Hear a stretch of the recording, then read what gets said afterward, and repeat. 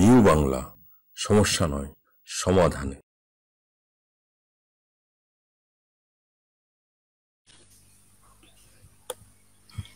সুপ্রিয় দর্শক শ্রোতা, যারা আজ আমাদের নিউ বাংলা এবং চন্দ্রবিন্দু প্রকাশনার পক্ষ থেকে যৌথ উদ্যোগে যে লাইভ প্রোগ্রাম শুরু হচ্ছে, যে লাইভ আড্ডা, সেই লাইভ আড্ডায় আপনারা যারা দেখছেন এবং দেখবেন, সবাইকে শুভেচ্ছা জানাই।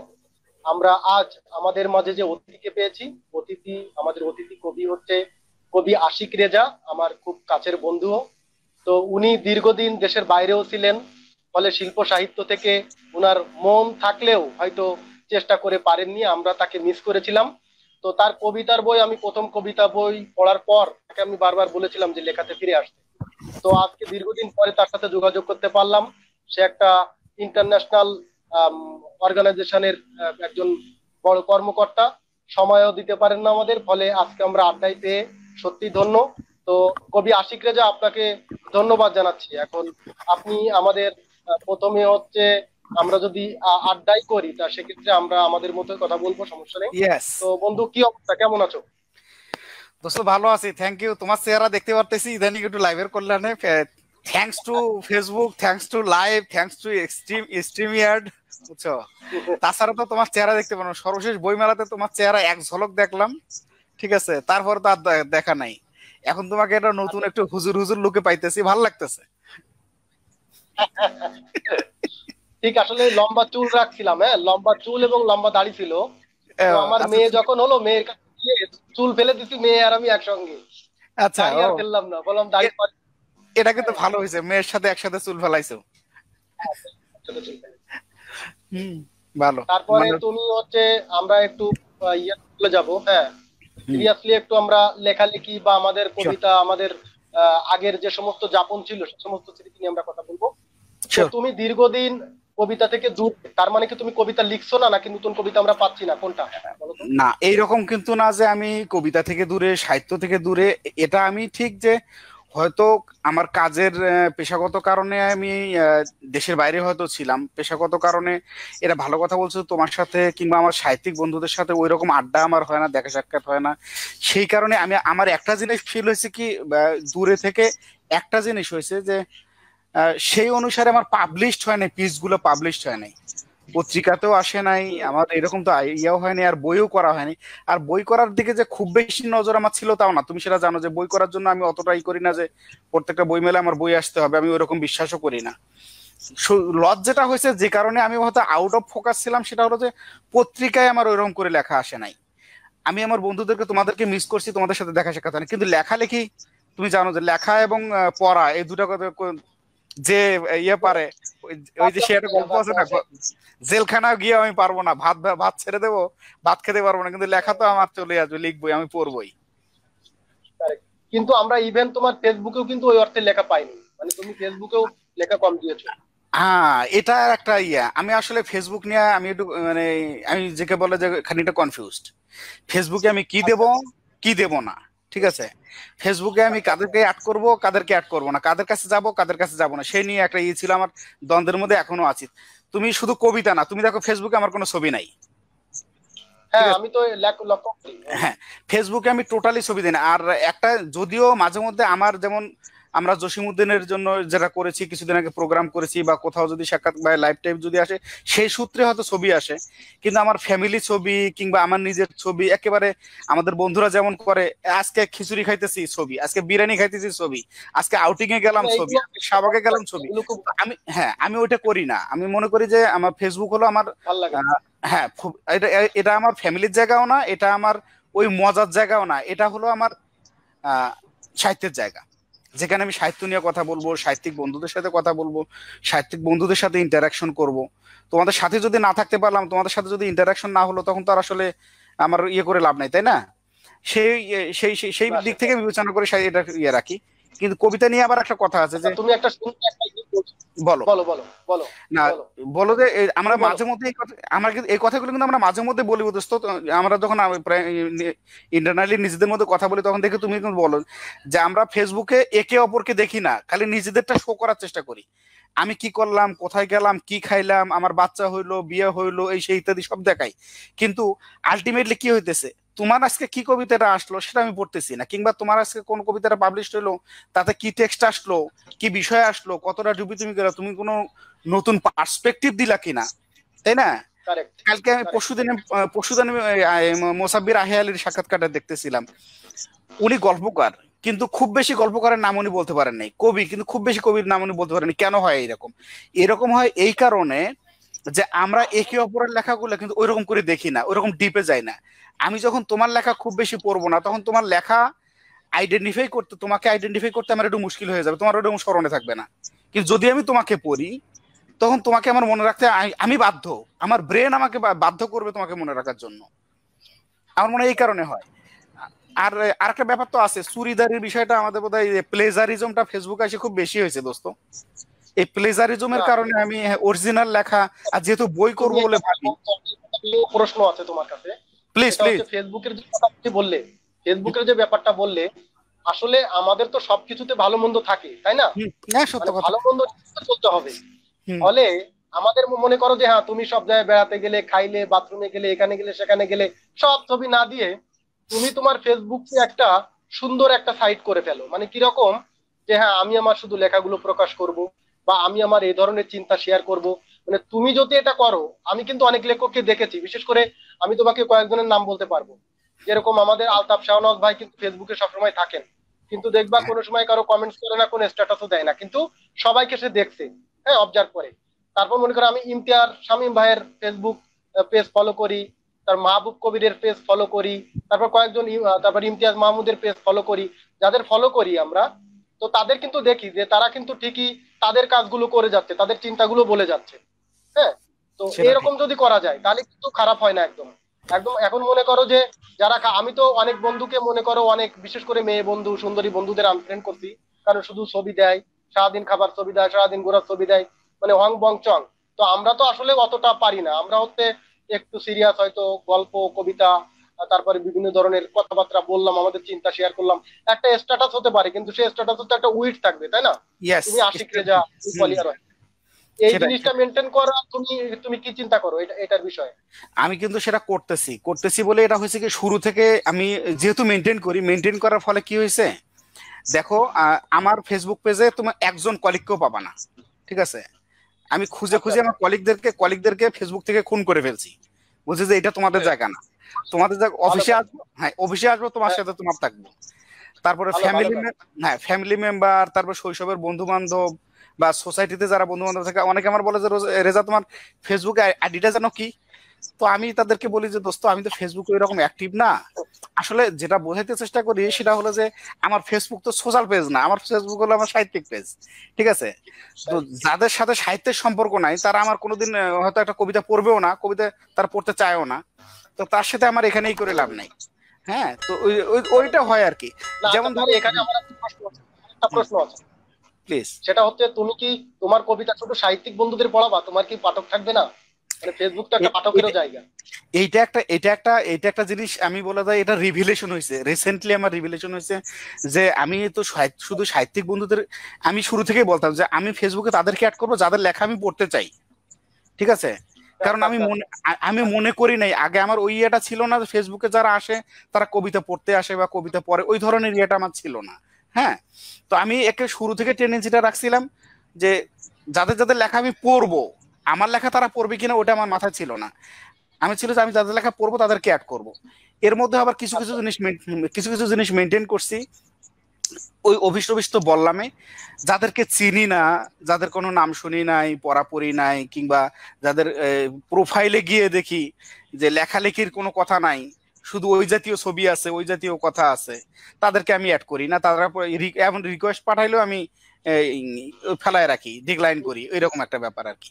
তো সে কারণে হয়েছে আমার ফেসবুকের যে অ্যাকাউন্ট আছে অ্যাকাউন্টে আমার ধারণা এখন পর্যন্ত আমার ফ্রেন্ড সার্কেল আছে হলো পাঁচশোর মতো।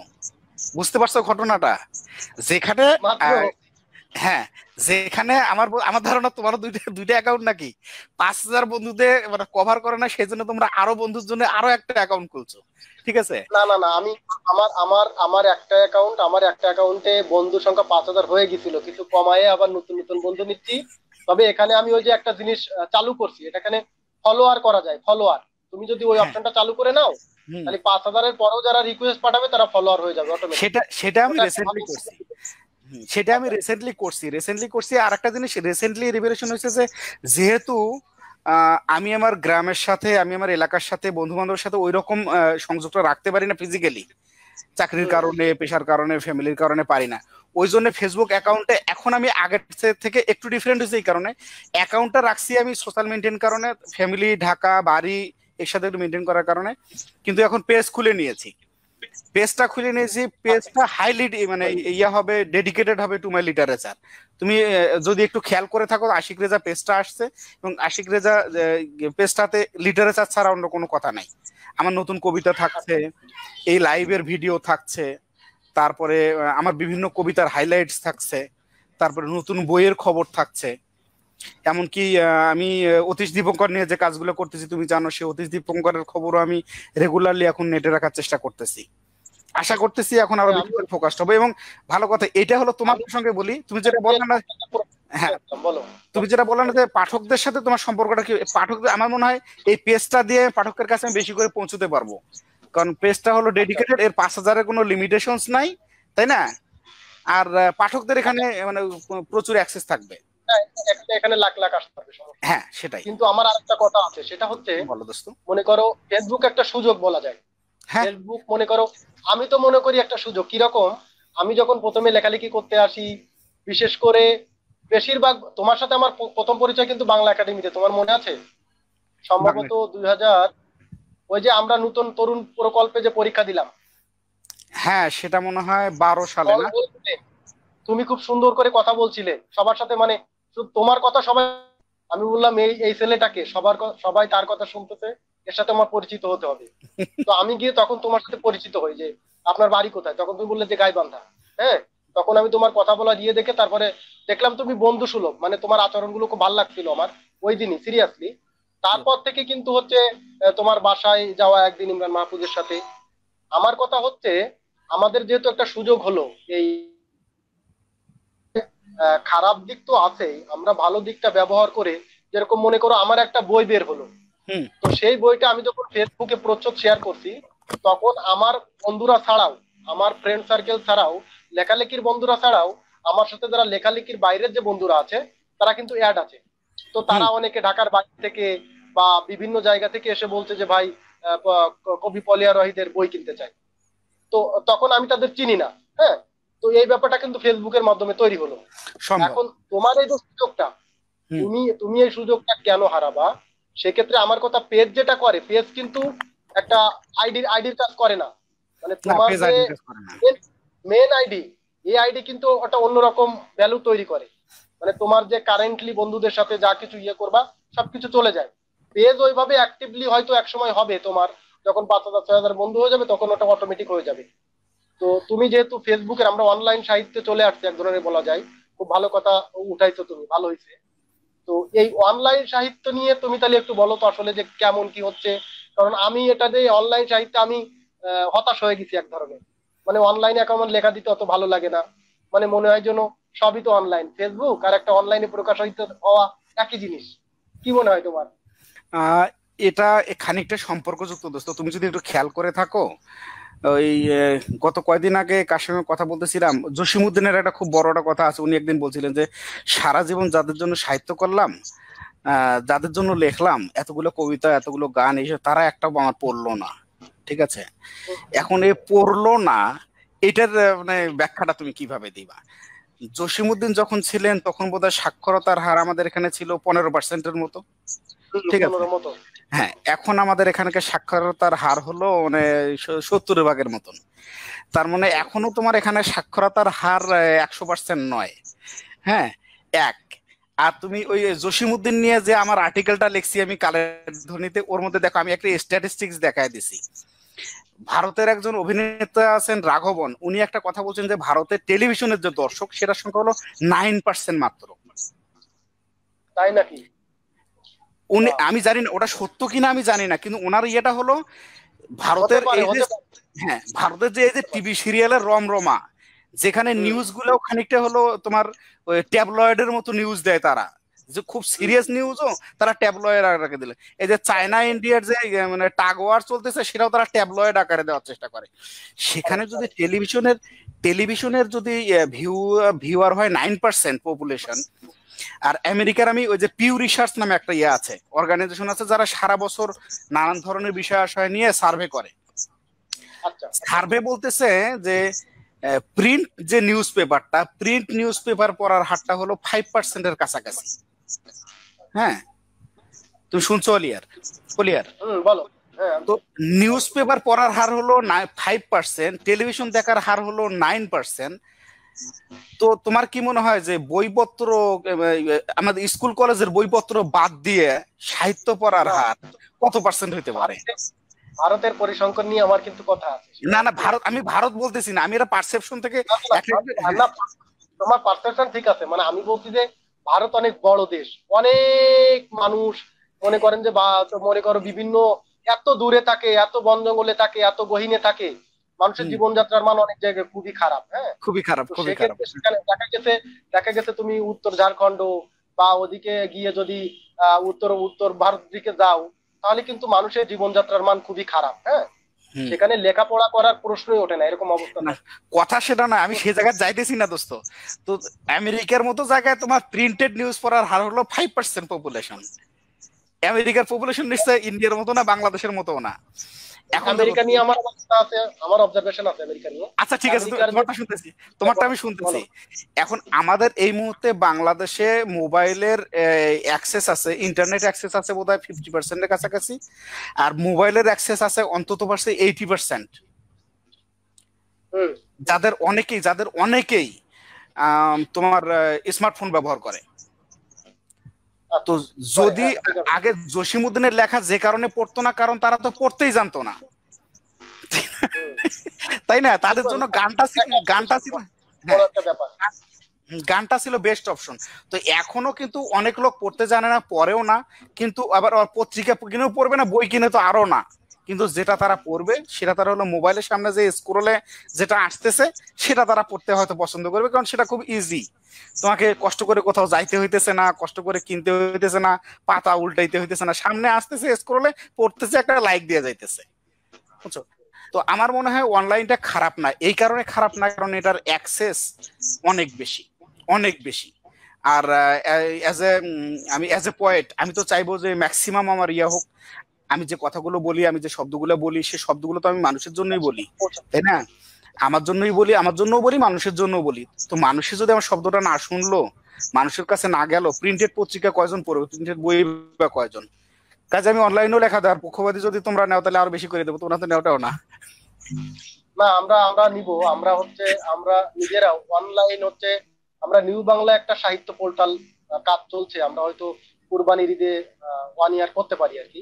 আমরা আচ্ছা। বাংলা ওয়েবসাইটও তো যাই হোক আমরা সে সময় তোমাদের লেখা বেশি করে নিব। শুধু শিল্প সাহিত্যের কাজ করব। আচ্ছা আচ্ছা, আমি হ্যাঁ। আমরা অনলাইনে আসার ফলেও মানে অনলাইনে একটা উপকার হয়েছে। অনলাইনে আবার অপকারও হয়েছে। সেটা হচ্ছে সিরিয়াস পাঠক সেই অর্থে যদি তুমি বলো যে হ্যাঁ যা হয় খারাপ না কিন্তু যা হয় তা আবার সে কেমন হয়? হুম এটা নিয়ে বিভিন্ন প্রশ্ন হয়। এবং তুমি দেখবা অটোমেটিক সব কবি লেখক হয়ে গেছে। মানে ফেসবুক আনে আছে মানে সে কবিতা লেখে ফেসবুক আছে মানে সে গান লেখে এই ধরনের বিভিন্ন ব্যাপার তোমার হয়ে গেছে। তো এই সবকিছু মিলিয়েও সবকিছু মিলিয়েও অনলাইনকে আমাদের আসলে ব্যবহার করতে হবে। মানে অনলাইনকে. আমাদের পজিটিভলি ব্যবহার করতে হবে। আচ্ছা এখন আমরা তোমার কবিতার দিকে একটু যাব। বলো। মনে করো তোমার দোলনকাল আমি কিন্তু যখন পড়ি আমি একটা রিভিউ লিখেছিলাম। সর্ব আমার ভালো কথা আমার তোমাকে আমার বরং তোমাকে থ্যাংক ইউ জানা উচিত যে প্রথম রিভিউটা তোমার কাছ থেকে আসছিল। এবং আমি তোমাকে বলছিলাম যে দোস্ত তোমার সাথে এটা নিয়ে সিরিয়াসলি বসা দরকার যে সে সময়টা আমি এখনও পাই নাই। ভালো কথা। আচ্ছা শোনো এই এই পলিয়ার এই প্রসঙ্গে বলি ওইটাও আমাদের লাইভে করলে কেমন হয়? চলো আরেকদিন তুমি আমি মিলে তুমি আমি মিলে শুধু ওইটা নিয়ে একটা কয়েকদিন কথা বলি। যেহেতু আমরা মুখোমুখি হইতে পারতেছি না আমরা এখানেই করতে পারি এরকম করে। আমরা আমরা আমি আমি আমার মাথায় আরও কিছু আইডিয়া আছে। আমি একা মানুষ এই জন্য ফলে আমি না হলে শুধু বই ধরে ধরে? মনে করো তোমার কবিতার বই তোমার একটা বই ধরে আমরা লাইভে আরও দুজনকে রাখব। তাদের দুজনকে আমরা ওই বই দিয়ে কথা বলাবো। তুমি থাকবে। তারা তোমার কবিতা নিয়ে তুমি কথা বলব। মানে এই ধরনের হলে ভালো হয় আর কি হ্যাঁ? বোঝাপড়া ভালো হয়। না হলে কি হয় জানো তোমার যে কবিতার বইটা আমি পড়ছিলাম সেটা তো দুই হাজার আটে বোধ না? আট নয়। আট নয় দশের দিকে? এগারোতে আসছিল হলো বায়ু পরাগে নৈবেদ্য তো এগারোতে আসছিল কিন্তু চোদ্দতে আসলো দোলনকাল। তুমি যেটা রিভিউ চোদ্দ- করলা সেটা- চোদ্দ চোদ্দতে। তো চোদ্দোর পরে তুমি তো আর কোনো বই বের করো নাই। হুম হুম হুম। না না কবিতা বই চোদ্দোর পরে কোনো বই করি নাই। এখন একটা বই মোটামুটি একটা পাণ্ডুলিপি রেডি হয়ে আছে এই বই মেলাতে হয়তো করতে পারি কিন্তু ওটা একটু ইয়ে করতেছি কেন? আগে অতীশ দীপঙ্করের বইটা নিয়ে আসতে চাচ্ছি। অতীশ দীপঙ্করটা নিয়ে আসলে হয়তো একসঙ্গেও করতে পারি। বলো তুমি এটা আসলে মূলত কি করতেছো এটা? বলো কোনটা? অতীশ দীপঙ্কর নিয়ে তোমার কাজের মূল পরিকল্পনাটা কি একটু বলো? মানে আচ্ছা তোমার তোমার কথাগুলো ভেঙে ভেঙে আসতেছে। তারপর আমি বলি যে অতীশ দীপঙ্কর নিয়ে প্ল্যানটা হলো হুম তুমি জানো যে অতীশ দীপঙ্কর হলো আহ, শুধু ইয়ে না আমাদের বিবিসি যখন দু হাজার নয় দশে যখন ই করল, ওই সর্বশ্রেষ্ঠ বাঙালি যে জরিপটা করল, তাতে সব, খুব সম্ভবত অতীশ দীপঙ্কর ছিলেন আঠারোতম। আঠারোতম বা পনেরোতম এরকম একজন ইয়ে ব্যক্তিত্ব ছিলেন, সর্বশ্রেষ্ঠ বাঙালি হিসাবে। হুম? আর যদি এটা নাও বলি, তো আমাদের আমাদের বাঙালের, বাংলাদেশের হিস্ট্রিতে যে কজন খুব বড় মাপের ব্যক্তিত্ব, বাংলাদেশের বাইরে যাদের প্রভাব ছিল, এরকম প্রভাবশালী ব্যক্তিত্ব খুব কম আছে। বঙ্গবন্ধুর বাইরে রবীন্দ্রনাথ ঠাকুর তো অবশ্যই সত্যজিৎ রায় এরাও যখন ছিলেন, কিন্তু তুমি তো যদি এগারো বারো শতকের দিকে দেখো হ্যাঁ আমাদের চর্যাপদের কবিরা ছিলেন, কিন্তু অতীশ দীপঙ্কর হলো চর্যাকবির গুরু। বলা হয় যে অতীশ দীপঙ্কর হলো সেই ব্যক্তিত্ব যার নাম শুনলে চীনের সম্রাট দাঁড়িয়ে যেতেন। এরকম তার একটা প্রভাব প্রভাব ছিল। অনেক ইয়েতেই বলা হয়েছে আই অব এশিয়া এরকম একটা তার প্রভাব ছিল। তিব্বতের যে অঞ্চলে উনি মারা গেছেন, তেরো বছর বেঁচে ছিলেন, জীবনের শেষ তেরো বছর ওখানে ছিলেন উনি। ওনাকে বলা হয় জোবরেজে তার মানে হলো মহান প্রভু। ঠিক আছে? তো এই মহান প্রভু যিনি যিনি তিব্বতের মতো দেশে বৌদ্ধ ধর্মের একটা বিশাল সেক্টর একটা ই করছেন? অন্তত চারটা যে বৌদ্ধদের একটা সেক্ট আছে, চারটা সেক্ট আছে। এই চারটা সেক্টের জন্ম হচ্ছে তার টেক্সট থেকে। ঠিক আছে? তো এত বড় একজন ব্যক্তিত্বর যার প্রায় দুইশো বিশটার মতো বই উনি লিখে গেছেন। চর্যাপথের সবচেয়ে বড় যিনি কবি, কান্নপা কান্নপারে বা কয়- কয়টা টেক্সট কিন্তু তার আছে দুইশো বারোটা টেক্সট এই দুইশো বারোটা টেক্সটের মধ্যে আমাদের এখানে বলা হয়তো তার সত্তরটা আশিটার মতো বই হয়তো বেঁচে আছে। কিন্তু আমি নিজে পেয়েছি, একশোর বেশি টেক্সট আমি নিজে পেয়েছি। মজার ব্যাপার হলো জানো, ওনার টেক্সট থেকে ইংরেজিতে অনুবাদ হয়েছে, ওনার টেক্সট থেকে হিন্দিতে অনুবাদ হয়েছে, ওনার টেক্সট থেকে সংস্কৃত অনুবাদ হয়েছে। ওনারা বলছিলেন যে সংস্কৃত থেকেই এটা মূল টেক্সট ওনারা বলছেন যে সংস্কৃতে মূল টেক্সট ছিল। যেটা তার থেকে তিবেতানের ইয়ে করা ছিল। তো কিন্তু একটা কথা হলো যে, বাঙালির এত বড় সন্তান, বাঙালির এত বড় কবি, তার বাংলায় কোনো টেক্সট নাই। হয়- উনি লিখেছেন কিংবা লেখেন সেটা বড় কথা। অন্তত চারটে পাঁচটা টেক্সটের কথা আমি জানি যে, চারটে পাঁচটা টেক্সট উনি বাংলায় লিখেছেন যেটা হরপ্রসাদ শাস্ত্রীও বলেছেন। কিন্তু তুমি দেখো, বাংলায় কিন্তু কোনো টেক্সটে নাই। তো সব ভাষায় যদি অনুবাদ হয়ে যায় জার্মানি, ফরাসি, হিন্দি সংস্কৃত, ইংলিশ, কিন্তু বাংলায় অনুবাদ হবে না কেন? তো আমার আইডিয়া ছিল যে বাংলাতে মানে তার কিছু হ্যাঁ বাংলাতে তার কিছু পিছিয়ে পড়া দেখছ? আমরা কত পিছিয়ে পড়া মানে আমরা আমাদের জিনিসকে চিনতে হ্যাঁ বড় কথা দুর্ভাগ্য। হলো সেটা কথা হলো সেটা। আর আমি অতীশ দীপঙ্করের উপর অতীশ দীপঙ্করের জীবনী নিয়ে খুব বেশি বই দেখিনি আসলে বাংলায়। খুব বেশি আমার প্রথম যে বইটা আমি অতীশ দীপঙ্করের পেয়েছি সেটা প্রায় তিনশো চারশো পৃষ্ঠার আমাদের একজন বাঙালি করেছেন অলকা চট্টোপাধ্যায় করেছেন। পশ্চিমবঙ্গের একজন বিশিষ্ট ইয়ে, যিনি উনিশশো সাতষট্টি সালের দিকে লিখেছেন। মজার ব্যাপার হলো সেটাও ইংলিশে। সেটা অনেক বড় একটা কাজ অনেক বড় একটা কাজ। এর আগে যিনি করছেন যিনি সর্বপ্রথম অতীশ দীপঙ্কর নিয়ে লেখালেখি করেছেন তিনি কিন্তু আসলে বাংলাদেশের সন্তান আমাদের চট্টগ্রামের সন্তান শরৎচন্দ্র দাস শরৎচন্দ্র দাস। মজার ব্যাপার হলো আঠারোশো তিরানব্বই সালের দিকে উনি যখন লেখা- লেখালেখি করেছেন সেটা করেছেন উনি ইংলিশে। ওনার জীবনের সমস্ত কাজ উনি করছেন ইংলিশে কিন্তু বাংলাতে আমরা ওইরকম টেক্সট পাইনি। গত সপ্তাহে গত সপ্তাহে মাত্র একজনের একটা বইলাম একরাম আলী নামে এক ভদ্রলোকের একটা বই। আমি এখনও কেবল যেহেতু পিডিএফ পেয়েছি আমি এখনও ডাউনলোড করছি পিডিএফ পড়ে উঠতে পারি না হয়তো পড়ব এর মধ্যে। কিন্তু এর আগে আমি যতগুলো টেক্সট পেয়েছি সব ইংলিশে তো বাঙালির এত বড় সন্তান তার একটা ভালো রেফারেন্স বই তার তার কোনো কবিতা বা তার সেগুলো তো তার তার তার বইগুলো হলো ধর্মগ্রন্থ হিসেবে ব্যবহার করা হয় বৌদ্ধরা ব্যবহার করে। হ্যাঁ। তো তার একটা বাংলা নেই। ভারতের কবি একরাম আলী কি কলকাতার কবি? একরাম আলী না আমি শুধু বইটা ডাউনলোড করেছি আহ, অতীশ দীপঙ্করের অতীশ দীপঙ্করের নামটা দেখি। তুমি তাহলে দেখো। বুঝি নাই বুঝি নাই আবার বলবা? কলকাতার একজন কবি আছে নাম হচ্ছে একরাম আলী। যদি উনি হয় আচ্ছা। তাহলে বলো কবি। আচ্ছা হতে পারে হতে পারে। তাহলে আমাকে একটু চেক আউট করতে হবে। আমি এখন ওনার বইটা দেখিনি তো বিস্তারিত ভাবে হয়তো দেখলে বুঝতে পারব ওনার বাড়ি কোথায়, কেমন কি। হ্যাঁ? এখন দেখি এর বইটা খুললে বইটা আমার স্যার অফিসে আছে তো, অফিসে গিয়ে খুলে দেখতে পারব। তো এই হলো অবস্থা। তো তার, একটা ভালো জীবনী, গ্রন্থ নাই, বাংলায়, তার কোনো কবিতাই বাংলায় নাই।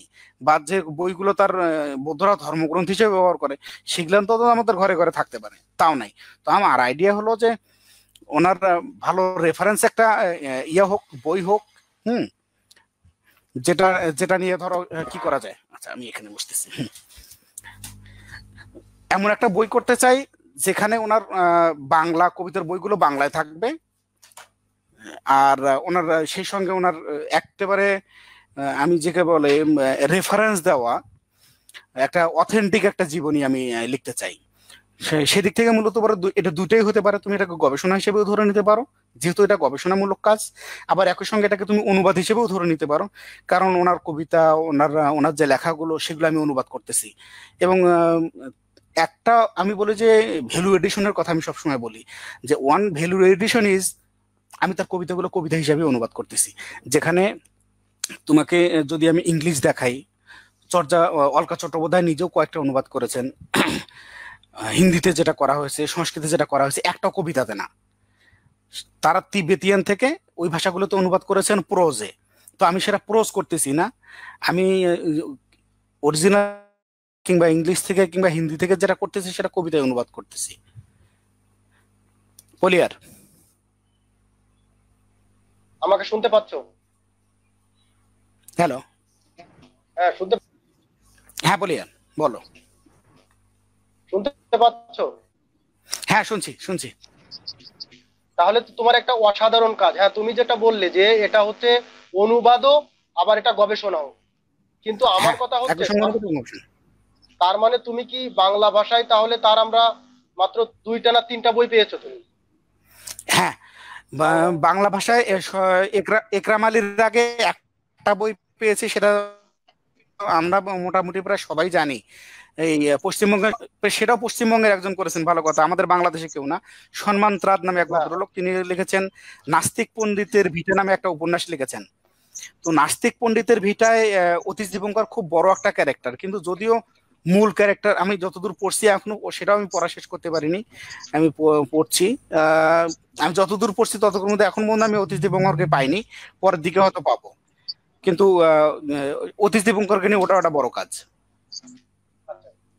তার মানে আমাদের বাংলাদেশের কোনো লেখক এটার কোনো লেখার কোনো কর্তব্যবোধ দায়বোধ কোনো কিছুই মনে করেনি।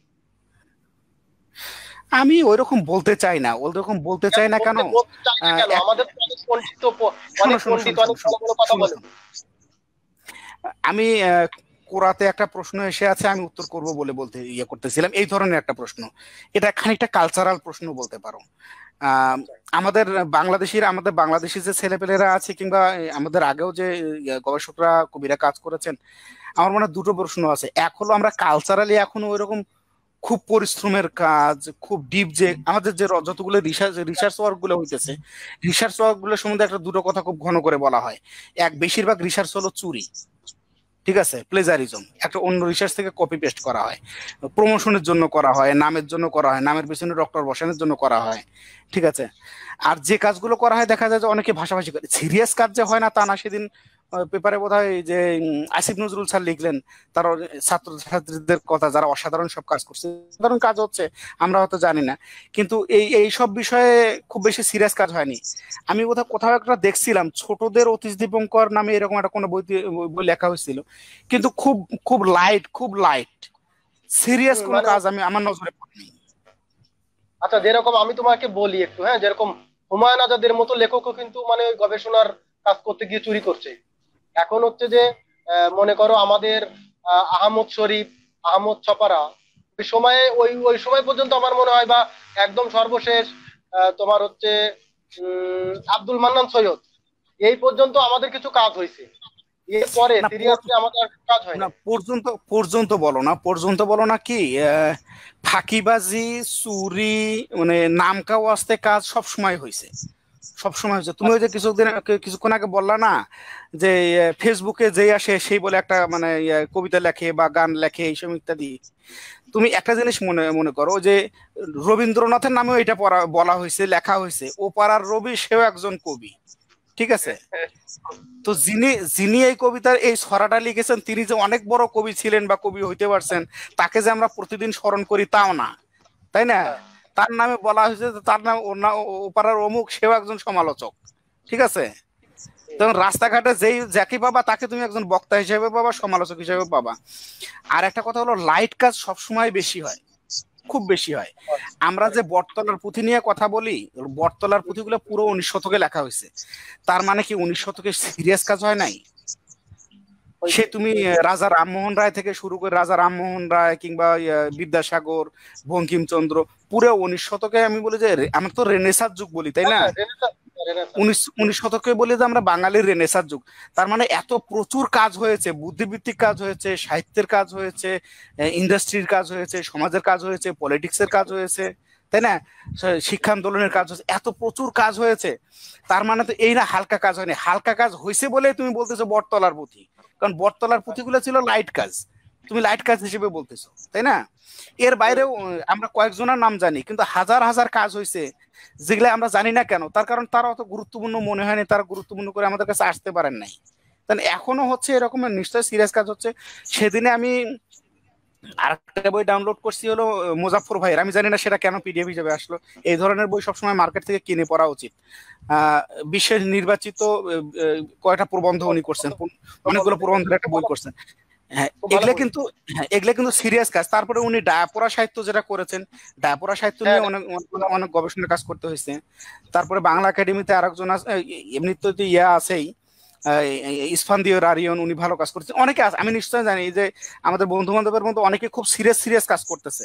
কিন্তু কথা হলো সিরিয়াস কাজ যারা করে অনেকটা সময় নিয়ে করতে হয় তো আর এই ধরনের কাজ হয় কম। তো ফেসবুক ভর্তি যদি তোমার তুমি দুনিয়ার ওই যে বটতলার পুঁথি পড়ো তোমার হয়তো মনে হবে যে এখানে আর কিছু হইতেছে না। কিন্তু আসলে কিন্তু হইতেছে আমরা এই যে সিরিয়াস টক করতেছি এই সিরিয়াস টকের বইরে কিন্তু প্রচুর লাইভ হইতেছে। তবে এটাকে আমি ডিসকারেজ করি না আমি বরং এনকারেজ করি এই অর্থে আমরা যদি আজকে এই লাইভে না থাকতাম আজকে যদি করোনা না থাকতো তুমি আমি হয়তো শাহবাগের কোনো মোড়ে কিংবা কোথাও বসে এই ধরনের ঘন্টাখানিক আলাপ করতাম তাই না? তো আমরা যে কোথাও থাকি সাহিত্যের কাজে তো করতেছি। আমার ফেসবুকে থাকলে ফেসবুক তো হলো সোসাইটি তাই না? সোসাইটির হ্যাঁ, ফেস সোসাইটির ফেস সোসাইটিতে আমরা যদি আড্ডায় গলাবাজি করতে পারি ফেসবুকে কেন নয়? লাইভে কেন নয়? হ্যাঁ, আমি আমি যদি আমি যদি বন্ধু সবাই আমার কবিতাটা শোনায় দিতে পারি যেহেতু আমাদের দেখা হইতেছে না ফেসবুকে আমি কবিতাটা আপলোড করে দিলাম তাতে কার বাপের কি? তাই না? হ্যাঁ তখন বরঞ্চ লোকের সুবিধা হলো আগে আগে লোকের বেড়ার মাঝে বেড়ার পাশে কান লাগাই দিয়ে শুনতে লাগ শোনা লাগতো সে তার বউয়ের সাথে কি কয়? তাই না? বরং আর এখন সুবিধা এখন সুবিধা হয়েছে ফেসবুকে দিতেছি। যে কারও খুশি দেখতেছে কার বউ দেখতে কি রকম কে কার বউর সাথে কোন ভাষায় কথা কয় সব ফেসবুকে দেখতেছে কান কানে আছে। তাই না?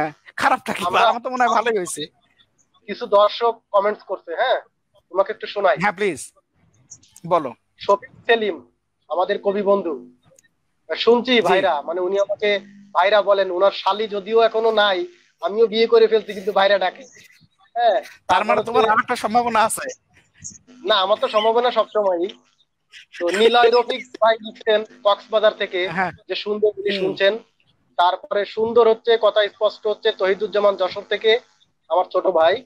তারপর হচ্ছে এইস বশিরুল আলম আমাদের এক বন্ধু মানে এ খুব একটা আশ্চর্য মানুষ এ লেখালেখি করে না কিন্তু বই পড়ে। ও আমাদের সবার বই কিনে নিয়ে যায় মেলা থেকে। বসির ও হচ্ছে আমাদের শঙ্কচুরি মামের বন্ধু তারপর আমার বন্ধু। হয় আর কি। তারপর হচ্ছে আচ্ছা, আমাদের নওগার নওগার এক বন্ধু তোমার পাশের বন্ধু আড্ডা ভালো লাগছে কবিতা শুনতে চাই। অনিন্দ অনিন্দ তুহিন। হ্যাঁ? তো আমরা তোমার আচ্ছা, কবিতাও শুনব। আমি একটু আরেকটু সিরিয়াস করতে চাই তোমার গবেষণা নিয়ে। কারণ অতীশ সম্পর্কে নিয়ে বাংলায় বই নেই মানে বাংলায় পড়তে পারার মতো বই নেই। এই আজকে বাংলা ভাষায় এ করছে সা করছে তমুক করছে সমুক করছে। মনে করো এই যে বাংলা একাডেমি বা মনে করো এই যে আজকের আমাদের আন্তর্জাতিক মাতৃভাষা ইনস্টিটিউট। এই সমস্ত প্রতিষ্ঠান আসলে কি করছে? মানে অতীশ দীপঙ্করের মতো লোকের মতো তার বই নাই। মানে এটা কি ধরনের? মানে এটাতে তুমি কি মনে করো? না আমাদের জাতীয় আচ্ছা। জাতীয়ভাবে অবহেলার বস্তু থাকবে অতীশ দীপঙ্কর? আচ্ছা শোনো তুমি তুমি- তুমি সেদিন এইরকম করিয়া মুসাব্বের ভাইকে খেপাই দিছিলা। আমি সেটা দেখছি। এই খেপানোর প্রসঙ্গও বলি এই প্রসঙ্গ বলি। খেপাই দিছিলা তুমি বলছিলে যে ওই যে বাংলা সাহিত্য বিশ্ব সাহিত্যে কেন যাচ্ছে না সেগুলা কেন ট্রান্সলেশন হচ্ছে না বাংলা একাডেমি কি করতেছে? আবার আহে আইলে ভাই জোশে আসে বলতেছিল চলো বাংলা একাডেমি ঘেরাও করি। ঠিক আছে? তো সেটা আমি শুনেছি। তো দুই প্রসঙ্গে দুই প্রসঙ্গেই বলি শোনো। যখন কোনো প্রতিষ্ঠান তৈরি হয় বাংলা একাডেমি যখন তৈরি হয় তখন তো দুটো আলাদা প্রতিষ্ঠান ছিল একটা বাংলা উন্নয়ন বোর্ড আর একটা কি জানো? এক একটা প্রতিষ্ঠানের এক একটা ম্যান্ডেট থাকে ঠিক আছে? আর কিন্তু হ্যাঁ ম্যান্ডেট থাকে। ম্যান্ডেট ম্যান্ডেট থাকে বলে একেবারে পরিষ্কার করে টিউ ওয়ার্ডটা বানানো থাকে। সে কি করবে কি করবে না।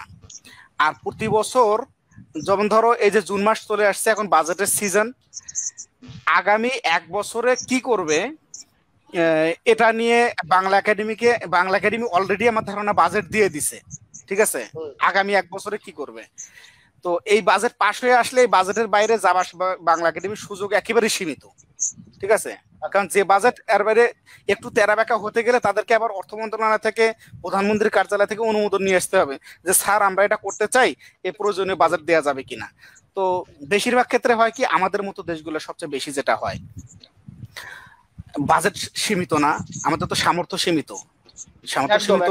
হ্যাঁ এখন তো দেখো দেখো স্বাস্থ্য খাতের কি অবস্থা শিক্ষা খাতেরও সাড়ে বারো অবস্থা অন্য অন্য খাতের জোরাতালি দিয়ে চালাইতে হয়। যদিও আমরা এখন হাজার কোটি টাকার কথা বলি লক্ষ কোটি টাকার কথা বলি এই বাজেটে বোধ হয় এক লক্ষ কোটি টাকার বেশি আমাদের ঘাটতি। ঘটনা বোঝো এমন দেশে আছি যে দেশের লোক কর দিতে চায় না কিন্তু চায় তার এলাকার কাজ হোক। প্রত্যেককে চায় চুরি করি কিন্তু চায় যে মানে দেশের যে কর্তা ব্যক্তিরা হবে প্রশাসকরা থাকবে পলিটিক হুম পলিটিশিয়ান এটা কিন্তু প্রত্যেকেরই। যে সে চাইবে ভ্যান ভেড়া দ্বারা বেশি হোক, সবজিওয়ালা, সে সবজির মধ্যে দুই টাকার সবজি দশ টাকা বেচবে, ঠিক আছে? বাসের মালিক, ড্রাইভার, সেগুলা তো করবে, আমরা যাত্রীরাও করব, আমরা যাত্রীরা ভাড়া না দিয়ে যাব, কম দিয়ে যাব, ঠিক আছে? কিন্তু সবাই চাইব, তোমার আমলারা যেন সৎ হয় পলিটিশিয়ানরা সৎ হয়, কিন্তু কব না যে পলিটিশিয়ান আর সৎ পলিটিশিয়ান আর সৎ আমলা থেকে আসবে? আমাদের চোরেদের ঘর থেকেই তো যাবে, আমরা প্রত্যেকেই ঠকাবো। ঠিক আছে? আমরা চাইব আমাদের আমরা টাকা কালা করব। সে টাকা কালা কি করে হবে? ট্যাক্স না দিলে তো টাকা কালা হবে। ঠিক আছে? টাকা কালা করব সেই টাকা খালা করার জন্য সরকারকে বলব তোমরা ট্যাক্স সাদা করার সুযোগ দিতেছো না সেটা বা ইয়াতে আসতেছে না মূল অর্থনীতিতে আসতেছে না। কারও টাকা কারা আসে কি- হয় চুরি করছে অথবা ট্যাক্স দেয় নেই। তাছাড়া কালো টাকা হয় কি করে? তাই না? কিন্তু কথা সেটা নয় কিন্তু এই যে বাজেটের বাজেটের ঘাটতির কারণে বলো। পয়েন্টটা হচ্ছে তুমি একটা সুন্দর কথা বলছো যে আমরা বলি যে একজন সৎ রাজনীতিবিদ দরকার আমরা বলি একজন সৎ আমলা দরকার কিন্তু এই লোকগুলো তো আর আকাশ থেকে আসবে না। আকাশ থেকে আসবে না, মঙ্গল গ্রহ থেকে আসবে আমাদেরকে তো আমাদের করতে হবে এক না কেন? হুম। তার মানে হচ্ছে মনে করো সে আমি এখন খুব সৎ কিন্তু আমি দায়িত্ব পাওয়ার পর অসৎ হয়ে গেলাম। মানে ব্যাপারটা এরকম খানিকটা হয়েছে দুই এরকম তুই খানিকটা হয়েছে না এরকম এরকম টু হান্ড্রেড পার্সেন্ট হয়েছে আমার আমার নিজের প্রমাণ আছে দোস্ত। নয় বছর ধরে বিশেষ পরীক্ষা দিয়েছে, আমি ক্যাডার হইনি কিন্তু আমার অনেক বন্ধু ক্যাডার হয়েছে এবং আমি তাদেরকে দেখেছি, তারা কীরকম পরিশ্রমী ছিল, কীরকম অনেস্ট ছিল, ঠিক আছে? চূড়ান্ত সৎ। তারা সৎভাবে চাকরি পাইছে। এক টাকা ঘুষ না দিয়ে চাকরি পাইছে। হাজার হাজার ছেলেকে আমি চিনি। গত সপ্তাহে দুইজনের চাকরি হয়েছে, বেজাতে জয়েন করছে। ঠিক আছে? আমরা জানি কীভাবে পরিশ্রম করে পরীক্ষা দিয়ে সৎভাবে চাকরি পাইছে। মজার ব্যাপার হলো, যে মাসে জয়েন করছে, পরের মাসে আত্মীয় স্বজনের আত্মীয়ের কাছে পঞ্চাশ হাজার টাকা পাঠাইছে ঈদ খরচের জন্য। বেতন হলো তার তখন পঁচিশ হাজার টাকা। ঠিক আছে? সৎভাবে চাকরি পাইছে। সৎভাবে চাকরি পাইছে। দুই বছর পরে শুনি তার উত্তরাতে একটা ফ্ল্যাট ধানমন্ডিতে একটা ফ্ল্যাট একটা গাড়ি কিনছে। সৎভাবে চাকরি পাওয়া ছেলে মেয়ে। এটা যদি ঘুষ খেয়ে ঘুষ মানে ঘুষ দিয়ে চাকরি পাইতো সেটা একটা কথা ছিল। কিন্তু এগুলা এগুলা মানে ইয়ে আছে। আর আমার নিজের এরকম আমাকে বলা হয়েছে। বলা হয়েছে যে পরীক্ষা টরীক্ষা দিতে পারব না চাকরি দিতে পারবি কিনা ক কয় লাখ টাকা চাস। কয় লাখ টাকা চান হ্যাঁ এরকম লোক অথচ আমি আমি তাদেরকে বলে দিচ্ছি কারণ আমি জানি যে কীভাবে চাকরি হয়। আমার নিজের পাঁচটা চাকরি হয়েছে সরকারি ছয়টা। ছয় নাম্বারটা আমি করতেছি দোস্ত। ঠিক আছে? আচ্ছা আচ্ছা। ছয় নাম্বারটা আমি করতেছি। আমি জানি কি করে সৎভাবে চাকরি করা যায় সৎভাবে চাকরি পাওয়া যায়। হাজার হাজার কত কত ছেলে চাকরি হইতেছে। কিন্তু বেশিরভাগ ক্ষেত্রে তোমার সোসাইটির লোকরা যেহেতু তারা চোর মানসিকতা মানে অসৎ অসৎ মানসিকতার লোকেরা সেটা বিশ্বাসও করে না। তারা বলে যে এগুলা মানি না। মানি না। পরিশ্রম করব না করব না যাব না তুই কয় টাকা চাষ কর? হ্যাঁ তো হুম, সে- আচ্ছা, সেই দিকে আমরা- যাইতেছি না। হ্যাঁ আমরা আমরা একটু অন্যদিকে চলে যাব। আমরা একটা শিল্প সাহিত্যের দিকে চলে যাব। তুমি তোমার সামনে কি তোমার কবিতার বই আছে? আছে দোস্ত। বা নতুন কোন কবিতাটা শুনবা বলো? নতুন আচ্ছা তো নতুন কবিতা শোনাবা না? মানে ওটা কোন বই এটা? এটা দোলনকাল। দোলন দোলনকালের পরে কি? দোলনকাল। দোলনকারের বরের পাঠককে পুরান কবিতা শোনাবা কেন? তুমি নতুন কবিতা শুনবা? আচ্ছা ঠিক আছে নতুন কবিতা শোনাই। আহ, পরের বইয়ের নাম মোটামুটি ঠিক করছি আমি যদিও আমি জানি না কি করব। পরের নাম ঠিক করছি হলো বুবু বিষ্ণুপুর। নামটা ভালো লাগছে আমার। আচ্ছা। ভালো লাগছে সেটাই। হুম। তো নতুন বইয়ের ছোট একটা কবিতা শোনাই। আগুনের স্পর্শকাতরতা। সতত প্রতিক্রিয়াশীল এবং স্পর্শকাতর। সে হোক তুলাকোষ অথবা ধুলাবিন্দু কিংবা সিন্ধুর এক বিন্দু। তাতে কি ভয়ঙ্কর অস্তিত্ব সংকট? কি ভয়ঙ্কর ভীত? চিরকালের উদ্বাস্তু কোণঠাসা পরাংমুখ উন্মূল লেলিহান আগুন। তোমার কবিতা কি একটু মানে ছোট ছোট লাইন নাকি? এটা এটা ছোট। আগুনের স্পর্শকতরতা চার পাঁচ লাইনের একটা কবিতা। তুমি যদি একটু বড় শুনতে চাও আহ আরেকটু বড় একটা কবিতা হ্যাঁ আর একটু বড় একটা কবিতা শোনাই। কবিতার শিরোনাম হলো উপকথার পরের কথা। উপকথার পরের কথা।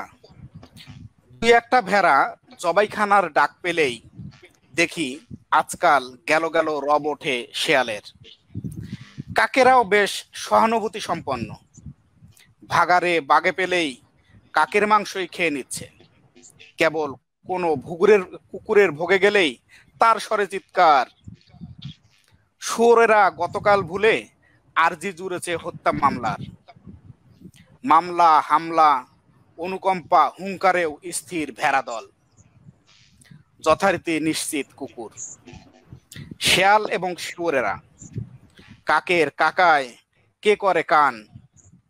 গা ভাসানো গড্ডল চায় মানুষের মান। সেও সামান্য জোর নাই। উজানের সাম্পান ভুলেছে, ভেড়া কোনো পশু নয় ভাগারের কাক নয় বুদ্ধিজীবী।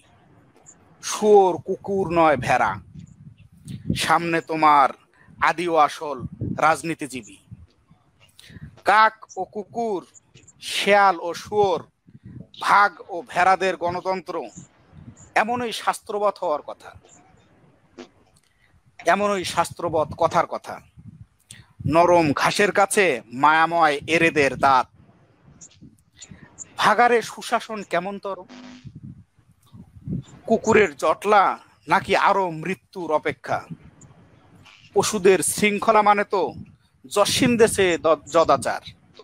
শান্তি রসাতল, শক্তিমানের জল। পশুদের বিচার মানে জঙ্গলের আইন আর চালাক বানরের উপকথা। সুরই সুশাসন দরকার মনু, পশুদের নয়। তবু নেহায়েত পশু হও ভেড়া, মুহূর্তের হায়না হও। মাংসাশীর রক্তে মিটুক ক্ষণিক পিপাসা। তারপর বর্গাদার অক্কা পেলে নতুন সূর্যের তলে নতুন সম্ভাবনা করতে পারো আশা। বাহ বাহ। অসাধারণ কবিতা লিখতো তুমি তো বাংলাদেশের পৃথিবীর রাজনীতি বলে দিছো তোমার কবিতায়। এবং তুমি এই যে তুমি এই যে রূপকের অন্তরালে মানে যে অ্যালোগরি ব্যবহার করছ বা যে মেটাফোর ব্যবহার করছ মানে আমার এখন সেই ইয়ের কথা মনে পড়ছে যে উপন্যাসটা খুব বিখ্যাত নাম ভুলে গেলাম। হচ্ছে ওই যে মানে রাজনীতিবিদদের মানে দ্বিতীয় বিশ্বযুদ্ধের সেই সমস্ত হিরোদেরকে যে কুকুর তারপরে হচ্ছে তোমার শুয়োর তারপর হ্যাঁ। ওই যে আবুল মনসুর আহমেদের আবুল মনসুর আহমেদের গল্পটা না না এটা না এটা না, এটাতে তোমার হচ্ছে ওই যে ইয়ার অরওয়েলের অরওয়েলের ওইটা? জর্জ অরওয়েলের? অ্যানিমেল ফার্ম অ্যানিমেল ফার্মের মতো। আমি আমি আমি তোমার কবিতা পড়ার সময় এটা আমার মনে পড়ছে। জড়িত বলে অ্যানিমেল ফার্মের কথা।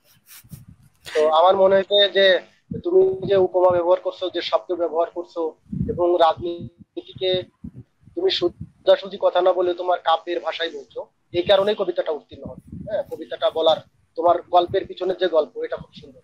মানে অসাধারণ একটা কবিতা। তো এবং এই এই সময়কে রিপ্রেজেন্ট করে সারা পৃথিবীকে এখন রিপ্রেজেন্ট করে এই একটি কবিতা। তো আমি আমরা কবিতার দিকে আরও যাব হ্যাঁ তোমার নতুন কবিতা আরও শুনব আমরা। আচ্ছা এখন একটু আমরা মনে করো তোমার ওই যে অতীশ দীপঙ্করে কিন্তু আমি আরও পরে আসব। অতীশ দীপঙ্কর আমার খুব প্রিয় একজন ব্যক্তিত্ব। তো অতীশ দীপঙ্কর যাওয়ার আগে আমি এখন একটু পিছনের দিকে যাই মানে তুমি ঢাকায় কবে আসছিলে? তোমার ঢাকায় প্রথম আসার সেই স্মৃতিটা বলো। মানে তুমি কি লেখালেখির জন্য চলে আসছিলে নাকি ঢাকা কীভাবে আসলে? আচ্ছা শোনো তোমার এই ভাগের মধ্যে বলে নেই। তোমারে কইছিলাম পার্সোনাল প্রশ্ন নয় এবং পেশাগত প্রশ্নও নয়। আচ্ছা ঢাকায় হ্যাঁ মানে এই- এই- এটা কেন জানো? আমার মনে হয় একজন শিল্পী একজন কবির যে প্রথম যে শহরে আসার যে গল্পটা এটা একটু অন্যরকম হয়। শুধু তাই না? যদি তুমি বাড়ি থেকে পালিয়ে থাকো কখনো, সেও গল্পটা বলো। আচ্ছা হ্যাঁ এটা একটা কোশ্চেন বটে, সেটা চমৎকার একটা কথা বলছো। দু হাজার আমি তো ঢাকায় আসছি হলো দু হাজার তিন সালে প্রথম, বুঝছ? এর আগে হয়তো একবার এসেছিলাম, উনিশশো নিরানব্বই সালে আমি গ্রামীণ ব্যাংকে জয়েন করছিলাম, বুঝছ? গ্রামীণ ব্যাংকে জয়েন করার জন্যই শুধু ঢাকা আসছিলাম, একেবারে বহুত কষ্টে সৃষ্টে, কারণ ঢাকার কোনো কিছু চিনতাম না, আবার জয়েন করে চলে গেছি। এরপরে দুই হাজার তিন সালে আসলাম। সত্য কথা হলো, এবার যখন আসছি, তার আগে আমার আমার এলাকায় আমার জব অফার ছিল। খানিকটা বিয়ারও অফার ছিল। তো বলা হয়েছিল যে বিয়ে শাদী করলে ওই যে তারা চাকরি নিয়ে দেবে এলাকায় কোনো স্কুলে টিস্কুলে। বললাম যে, তোমরা আমাকে পঞ্চাশ লাখ টাকা দিলেও আর দু তিনটা বিয়ে দিলেও আমি এলাকায় থাকব না নে। যে, ঘটনা কি? করলাম যে ঢাকা তো যেতে হবে? ঢাকার আমি সবচেয়ে বড় সুবিধাটা বলি যে এটা রাজধানীর সুবিধা, তো রাজধানীর সুবিধা সবসময় একটু অন্যরকম হয়। সবচেয়ে বড় সুবিধা আমি বললাম যে আমার জানালা থাকবে ওখানে। আমার একটা অপশন থাকবে। আমি অপশন চাই। এখানে যদি আমি কোনো কোনো জবে জয়েন করি বা কোনো কিছু করি, তার মানে সেটা একটা খোয়ারের মতো হয়ে যাবে। তখন তো আর এত ইয়া ফেসবুকে ছিল না অনলাইনও ছিল না টেলিফোন ছিল সামান্য, তাই নয়? আর আমরা গ্রামের ছেলে গ্রামে দেখা যায় আমার মনে আছে তখন একটু বেটার হয়েছে। সে বেটারও সকালবেলার পত্রিকা আমি দেখতাম হলো চারটে পাঁচটার দিকে পত্রিকা পাইতাম। হ্যাঁ সন্ধ্যা হয়ে যেত আমাদের বাড়িতে পত্রিকা সন্ধ্যা হলে বা পরের দিন পত্রিকা পাইতাম। মজার ব্যাপার হলো ঢাকায় আসার আগে আমি দুই তিনটা কবিতা পাঠাইছি। যেহেতু পত্রিকা আমি রেগুলার দেখতে পারতাম না এইরকম কারণে আমি জানতেও পারি নাই। যে আমার কবিতা কোথাও ছাপা হয়েছে কিনা। এবং এই কারণে পরবর্তীতে আমি কবিতা পাঠানো বন্ধ করে দিছি যে এরকম পাঠায় কোনো দরকার নাই, কোনো কাজও নাই। ঠিক আছে? কারণ আমি জানব না কোথায় কি হচ্ছে। তো মূলত আমি ঢাকায় আসছিলাম। ওই আমার পকেটের মধ্যে, যে আল মাহমুদ যেটা বলছিল না, যে উনি ওনার সুটকেসের মধ্যে করে মানে বাংলার ফুল বাকি বাংলাদেশ নিয়ে এসেছিলেন। আমি তো বাংলাদেশ নিয়ে আসতে পারিনি, আল মাহমুদের মতো বড় কবিও আমি না। তো আমি ছোট মানুষ আমি ছোট আমার কবিতার খাতাটা নিয়ে এসেছিলাম আমার কলমটা নিয়ে এসেছিলাম এবং ঢাকায় আসার পিছনে তখন আমার খুব বড় দুটো ড্রিম ছিল। একটা ড্রিম আমি জানি না এখন আমি আর কখনো কোনো রিয়েলাইজ হবে কিনা। আমি লিখতে চেয়েছি সব সময় লিখতে চেয়েছি এবং থিয়েটার করতে চেয়েছিলাম। আচ্ছা আচ্ছা। তো থিয়েটারটা আমার থিয়েটারটা আমার থিয়েটারে ভর্তি হয়েছিলাম প্রার্থনাটা গেছি তারপরে আরও দু এক জায়গায় গেছি। কিন্তু শেষ পর্যন্ত মানে থিয়েটারটা আমার এরকম করা হয়ে ওঠেনি। কন্টিনিউ করতে পারিনি। বলা চলে পেশাগত চেষ্টা, সংসারের ইয়া একটু একাডেমিক লেখাপড়া, তার মধ্যে আমার লেখালেখি, পড়াপড়ি, সবকিছু মিলে থিয়েটারটা হয়ে ওঠেনি। তার জন্য আমার খারাপ লাগা আছে। আমি জানি না, হয়তো কখনো যদি আবার সুযোগ পাই, তাহলে হয়তো থিয়েটার একটু কাজ, কোনো না কোনো পর্যায়ে একটু কাজ করার ইচ্ছা আছে। আমি জানি না, আদৌ কখনো সুযোগ পাবো কিনা। আর কলম, কলমটা আমি কখনো ছাড়ি নাই। তুমি যেমন বললা যে আমি মাঝখানে কবিতা লিখি নাই ছাড়ছিলাম কিনা, কলম আমি কখনোই ছাড়িনি, হয়তো কম লিখছি। যেমন ধরো গত এপ্রিল মাসের পরে, এপ্রিল মাসের পরে আমার মাঝখানে মনে হচ্ছিল, কে রে তোমরা করোনা নিয়ে, তুমি করোনা নিয়ে সেই শুক্রবারের কবিতা লিখছো। ঠিক আছে? অনেকেই লিখছে। কিন্তু আমি আমার কবিতাটা লিখতে পারতেছিলাম না। আমি আমার কবিতার দর্শন সম্বন্ধে তুমি জানো আমি ইভেন্ট স্পেসিফিক কবিতা লেখা পছন্দ করি না। ওই কার জন্য একটা কথা আছে আমি খুব করে মানি যে গ্রেট পিপল ডিসকাসেস আইডিয়াস ঠিক আছে?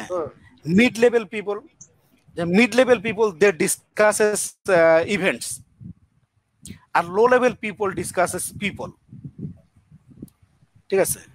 তো আমি সবসময় একটু মেনটেন করি যে ইভেন্ট স্পেসিফিক ওই যে হাতি মারা গেল সে হাতি নিয়েও দেখলাম যে অনেকগুলো কবিতা লেখা হয়েছে। আজকে দেখতেছি সংবাদে ইয়া- সংখ্যাটা করছে সংবাদের ভাইয়া করছে সংখ্যাটা। ওই আমেরিকায় যে ব্ল্যাক পিপলটা মারা গেল কালার পিপল উনি মারা গেছে। হ্যাঁ ফ্লয়েড ফ্লয়েডকে নিয়ে পুরো একটা সংখ্যা করে ফেলছে এবং আমাদের অনেক কবি একেবারে একেবারে ঘটনার ডিসক্রিপটিভ বর্ণনা দিয়ে কবিতা লিখে ফেলছে। এরকম ইভেন্ট স্পেসিফিক আমি কাউকে যেন বলতেছিলাম প্রতিদিনই আমাদের হাজার হাজার লোক মারা যাচ্ছে। তাই না? প্রতিদিনে হাজার হাজার মৃত্যু হচ্ছে হাজার হাজার মানে অনাচার ঘটতেছে অঘটন ঘটতেছে। আমরা কি প্রত্যেকটা মৃত্যুর জন্য একটা করে কবিতা লিখব? মানে। এটা কীরকম একটা ব্যাপার? কে যেন বলছিল আমাকে যে তোমার প্রত্যেকবার হাসির জন্য যদি ডেন্টিস্টের কাছে যেতে হয় তো এর চেয়ে পেইনফুল আর হয় না। তাই না? এর চেয়ে পেইনফুল হাসি কি আর হয়? যে প্রত্যেকবার হাসির জন্য তোমাকে ডেন্টিস্টের কাছে বলতে যে বাবু তুমি আমার দাঁতটা একটু ব্রাশ করে দাও একটু স্কেলিং করে দাও আমি একটু হাসি দেবো একটু হাসতে চাই। আমি কেন প্রত্যেকটা আমাদের কবিতা। তাই না? আমি কেন প্রত্যেকটা ঘটনার জন্য সিজন সিজন স্পেসিফিক বার স্পেসিফিক মান্থ স্পেসিফিক ঘটনা স্পেসিফিক সরকার স্পেসিফিক দল স্পেসিফিক কবিতা আমি কেন লিখব? ঠিক আছে? তো আমি সবসময় চেয়েছি যে এটা মহামারী, এটা একটা মহামারী এবং এই ধরনের মহামারী প্রতিদিন আসে না। তাই না? আমরা একটা অসাধারণ সিচুয়েশনে বাস করতেছি। আমার পুরুষ, আমি জানি না শেষ কবে এই ধরনের সিচুয়েশন এসেছিল। কিন্তু তারপর আমি এই ইভেন্টের উপর ভিত্তি করে একটা কবিতা লিখতে পারি না লিখব না। আমি সেই কবিতাটা লিখতে চাই? শেষ পর্যন্ত বোধহয় করোনা কাল নিয়ে একটা কবিতা কবিতা আমি লিখছি। হ্যাঁ? কিন্তু করোনা করোনা শুধু একটা সেখানে উদাহরণ হিসেবে এসছে টার্ম হিসেবে এসছে। ঠিক আছে? কিন্তু আমি ওই রকম ঘটনা স্পেসিফিক ঘটনা তুমি বোধহয় শেষ কবিতাটা আমার দেখতে, দেখতেও পারো। শেষ কবিতাটা আমি কারও তোমাকে আমি দেখা দিতে পারব না। হুম? তো আমি চাইনি যে ঘটনা স্পেসিফিক এমন করে বলি যে যখন করোনা শেষ, তখন আমার কবিতার আবেদন শেষ। এই করোনার এই এই আমার কবিতার কোনো মিনিং নাই। এই কবিতা আমি লিখতে চাই নাই। ঠিক আছে? আচ্ছা তো তো লেখালেখি বেজ একটা স্বপ্নের কথা বললে তোমার। লেখালেখি বেজ। তার মানে হচ্ছে তুমি থিয়েটার নিয়ে তোমার একটা ইয়ে স্বপ্ন ছিল, বা তুমি কলম কখনো ছাড়বা না। তুমি জীবনে মানে তোমার তুমি এমনি কর্মজীবনে কি হতে চাইছিলে ছোটবেলায়? মনে হয় পলিটিশিয়ান হতে চাইছিলাম। আমি আমি আমার মনে নাই। হয়তো পলিটিশিয়ান হতে চাইছিলাম হয়তো আর বড় কিছু, আমি সবসময় একটা একটা ফিলিং একটা ড্রিম ক্যারি করছি। সেটা হলো যে ভ্যালু এডিশন সবসময় এই কথাটা আমি বলি যে সেটা লেখা দিয়ে হোক সেটা কাজ দিয়ে হোক সেটা কথা দিয়ে হোক আমি ভ্যালু এডিশন করতে চাই মূল্য সংযোজন করতে চাই। এটা কীভাবে ব্যাখ্যা করব আমি জানি না। আমি আমার ফেসবুক পেজে আমার জন্মদিন নাই। আমি চাই নাই যে এরকম করে আমার সেটা একটা ইভেন্ট হয়ে উঠুক। আমার জন্মদিনটা আমি রাখি নাই। আমি তারপরে ঘটনা প্রসঙ্গে বলি। হ্যাঁ ঘটনা প্রসঙ্গে বলি আমি এই গত সপ্তাহে উনচল্লিশে পা দিছি। হুম তো যখন থেকে এই প্রশ্নটা আমার মাথার মধ্যে আসছে আমার উনচল্লিশে পা দিছি আমার জন্মদিন পার হচ্ছে তারপর থেকে গত একটা সপ্তাহ আমার খুব খারাপ গেছে। আমাকে এই কথাটা খুব কুরে কুরে খাচ্ছে যে খুব কুরে কুরে খাচ্ছে উনচল্লিশটা আটত্রিশটা বছর অলরেডি চলে গেছে তুমি আমার পোস্টটা বোধহয় দেখছ আমি একটা পোস্ট দিছিলাম। আটত্রিশটা বছর আমার চলে গেছে দোস্ত। আমি একটা একটা কবিতার বই আমার হয়েছে। আমি কি করছি? কয়েকটা কবিতা লিখছি মাত্র। আর কিছু করছি বলে আমার মনে হইতেছে না। তো কি ভ্যালু আমি অ্যাড করছি এটা আমি খুঁজে পাই নাই। আমার এই মানে আটত্রিশ বছরের মূল্য আমার কাছে প্রায় গ্রান্ড জিরো আমি নিজের প্রশ্ন করতেছিলাম আমার গিন্নিরে প্রশ্ন করছি আমার কলিগের প্রশ্ন ভাই বোনের প্রশ্ন করছি যে আমি কি করলাম? আটত্রিশটা বছর গেল আমি কি আন্ডা করলাম? কি ঘাসটা আমি কাটলাম? অথচ আটত্রিশ বছর গেল আমার আমার এখন তুমি কি আমি এখন তোমার সাথে সংযোজন করতে হ্যাঁ তো ওই ওই জন্য হ্যাঁ, ওই জন্য বলে যে আমি সবসময় যেহেতু ভ্যালু অ্যাড করতে চেয়েছি আমার তোমার একজন শিল্পী কিন্তু নিজে বোঝে না মানে সে সে ভাবে যে সে আসলে দুলোই সে আসলে ফুলের মতোই সে শুধু ঘ্রাণ বিলিয়ে গেল। আসলে ফুল আমাদের কি দেয়? এটা তো আমি যদি বলি যে ফুলের যে ঘ্রাণ দেয় এই ঘ্রাণ তো আমি শত কোটি টাকা দিয়ে ঘ্রাণ কিনতে পারব। তো তুমি তুমি তোমার যে ব্যক্তিগত জীবনে তুমি যে যুদ্ধ করো, আমি তোমার যুদ্ধের কথা মানে খুব আড়ালে থেকেও জানি, একটু জানি। তো তোমার যে যুদ্ধ, তুমি যে ঢাকাতে বা তুমি এর আগে যখন মালদ্বীপে ছিলে, শ্রীলঙ্কাতে ছিলে বা নেপালে ছিলে, তুমি কয়েকটা দেশে যখন ছিলে, যখন কাজ করছ, সেই তোমার সেই সময়কার স্ট্রাগল তোমার যে দেশে আসা, আবার চলে যাওয়া, তুমি রাতে আসছো, আবার দিনে চলে গেছো হ্যাঁ আমি আমি কিন্তু তোমার খোঁজ খবর মোটামুটি রাখতাম। তাতে আমি দেখতাম যে তুমি ঢাকায় তুমি ঢাকায় ঢাকায় কন্টিনিউ আসতেছো ঢাকায় তুমি কারোর সাথে যোগাযোগ করার তোমার সময় নেই। তো তুমি তোমার ফ্যামিলিকে তুমি তোমার ভাই বোনকে আমি এটা নিশ্চিত বলতে পারি, তুমি তোমার ভাই বোনকে যেভাবে মানুষ করতেছো, তুমি তাদের ভিতরে যে তাদের পিছনে যে সময়টা দিচ্ছ, তোমার যে ভালোবাসাটা দিচ্ছ, এটার একটা মূল্য আছে হ্যাঁ আশিক রেজা। আমি মনে করি একজন আশিক হচ্ছে একটা বীজের মতো হয়তো এই বীজটা অঙ্কুরিত না হয়ে আশিকের ছোট ভাইয়ের ভিতরে সেই ফলটা ধারণ করতে পারে, বা আশিকের সন্তানের ভিতরে সেই ফলটা ধারণ করতে পারে। তো এরকমও হতে পারে। তার মানে তুমি কিছু করনি বা তোমার কোনো ফল নেই, ব্যাপারটা না। তুমি যে ভিতটা তুমি যে ভিতটা তৈরি করে যাচ্ছ, এবং ভিতটা কখনো দেখা যায় না। আমরা কিন্তু উপরের বিল্ডিং দেখি, আমরা ভিত দেখি না। আমি তো মনে করি আশিক রাজা হচ্ছে আশিক রাজার ফ্যামিলির জন্য ভিত আশিক রেজাকে আমরা দেখতে পাবো না। কিন্তু আশিক রেজার উপরে যে রঙিন বিল্ডিং উঠবে সেই বিল্ডিং মানুষ দেখতে পাবে। এখন মনে করো সেদিন স্ট্যাটাস দিছিল আমাদের এক বন্ধু সাজ্জাদ সাহেব, যে বলে যে মানিক বন্দ্যোপাধ্যায়ের যে সমস্ত ভাইরা উকিল ছিল, ডাক্তার ছিল ব্যারিস্টার ছিল, সেই হরিহর বন্দ্যোপাধ্যায়কে এখন মানিকের বাপ নামেই সবাই চেনে। অন্য নামে আর কেউ চেনে না। তো আশিক রেজাকে চিনবে হ্যাঁ? আশিক রেজাকে বলা যাবে না। যারা মানে অবদানগুলো রেখে যায়, কোথাও না কোথাও রেখে যায়, এই আর। তো আমরা, তোমার নতুন কবিতা আমার ভালো লাগছে। তোমার নতুন কবিতার বই দ্রুত আসুক। সাথে সাথে তুমি কবিতা ছাড়া আর কি তোমার ওই যে গবেষণার কথা বললে হ্যাঁ? হিসেবে তুমি যেটা বলছো সেটা হিসেবে ভালো। হুম হুম, বলো। বলছিলাম যে অতীশ দীপঙ্কর। অতীশ দীপঙ্করের এই বই তোমার কবে নাগাদ আসবে? মানে এই বইটা পেতে আমাদের আর কতদিন লাগবে?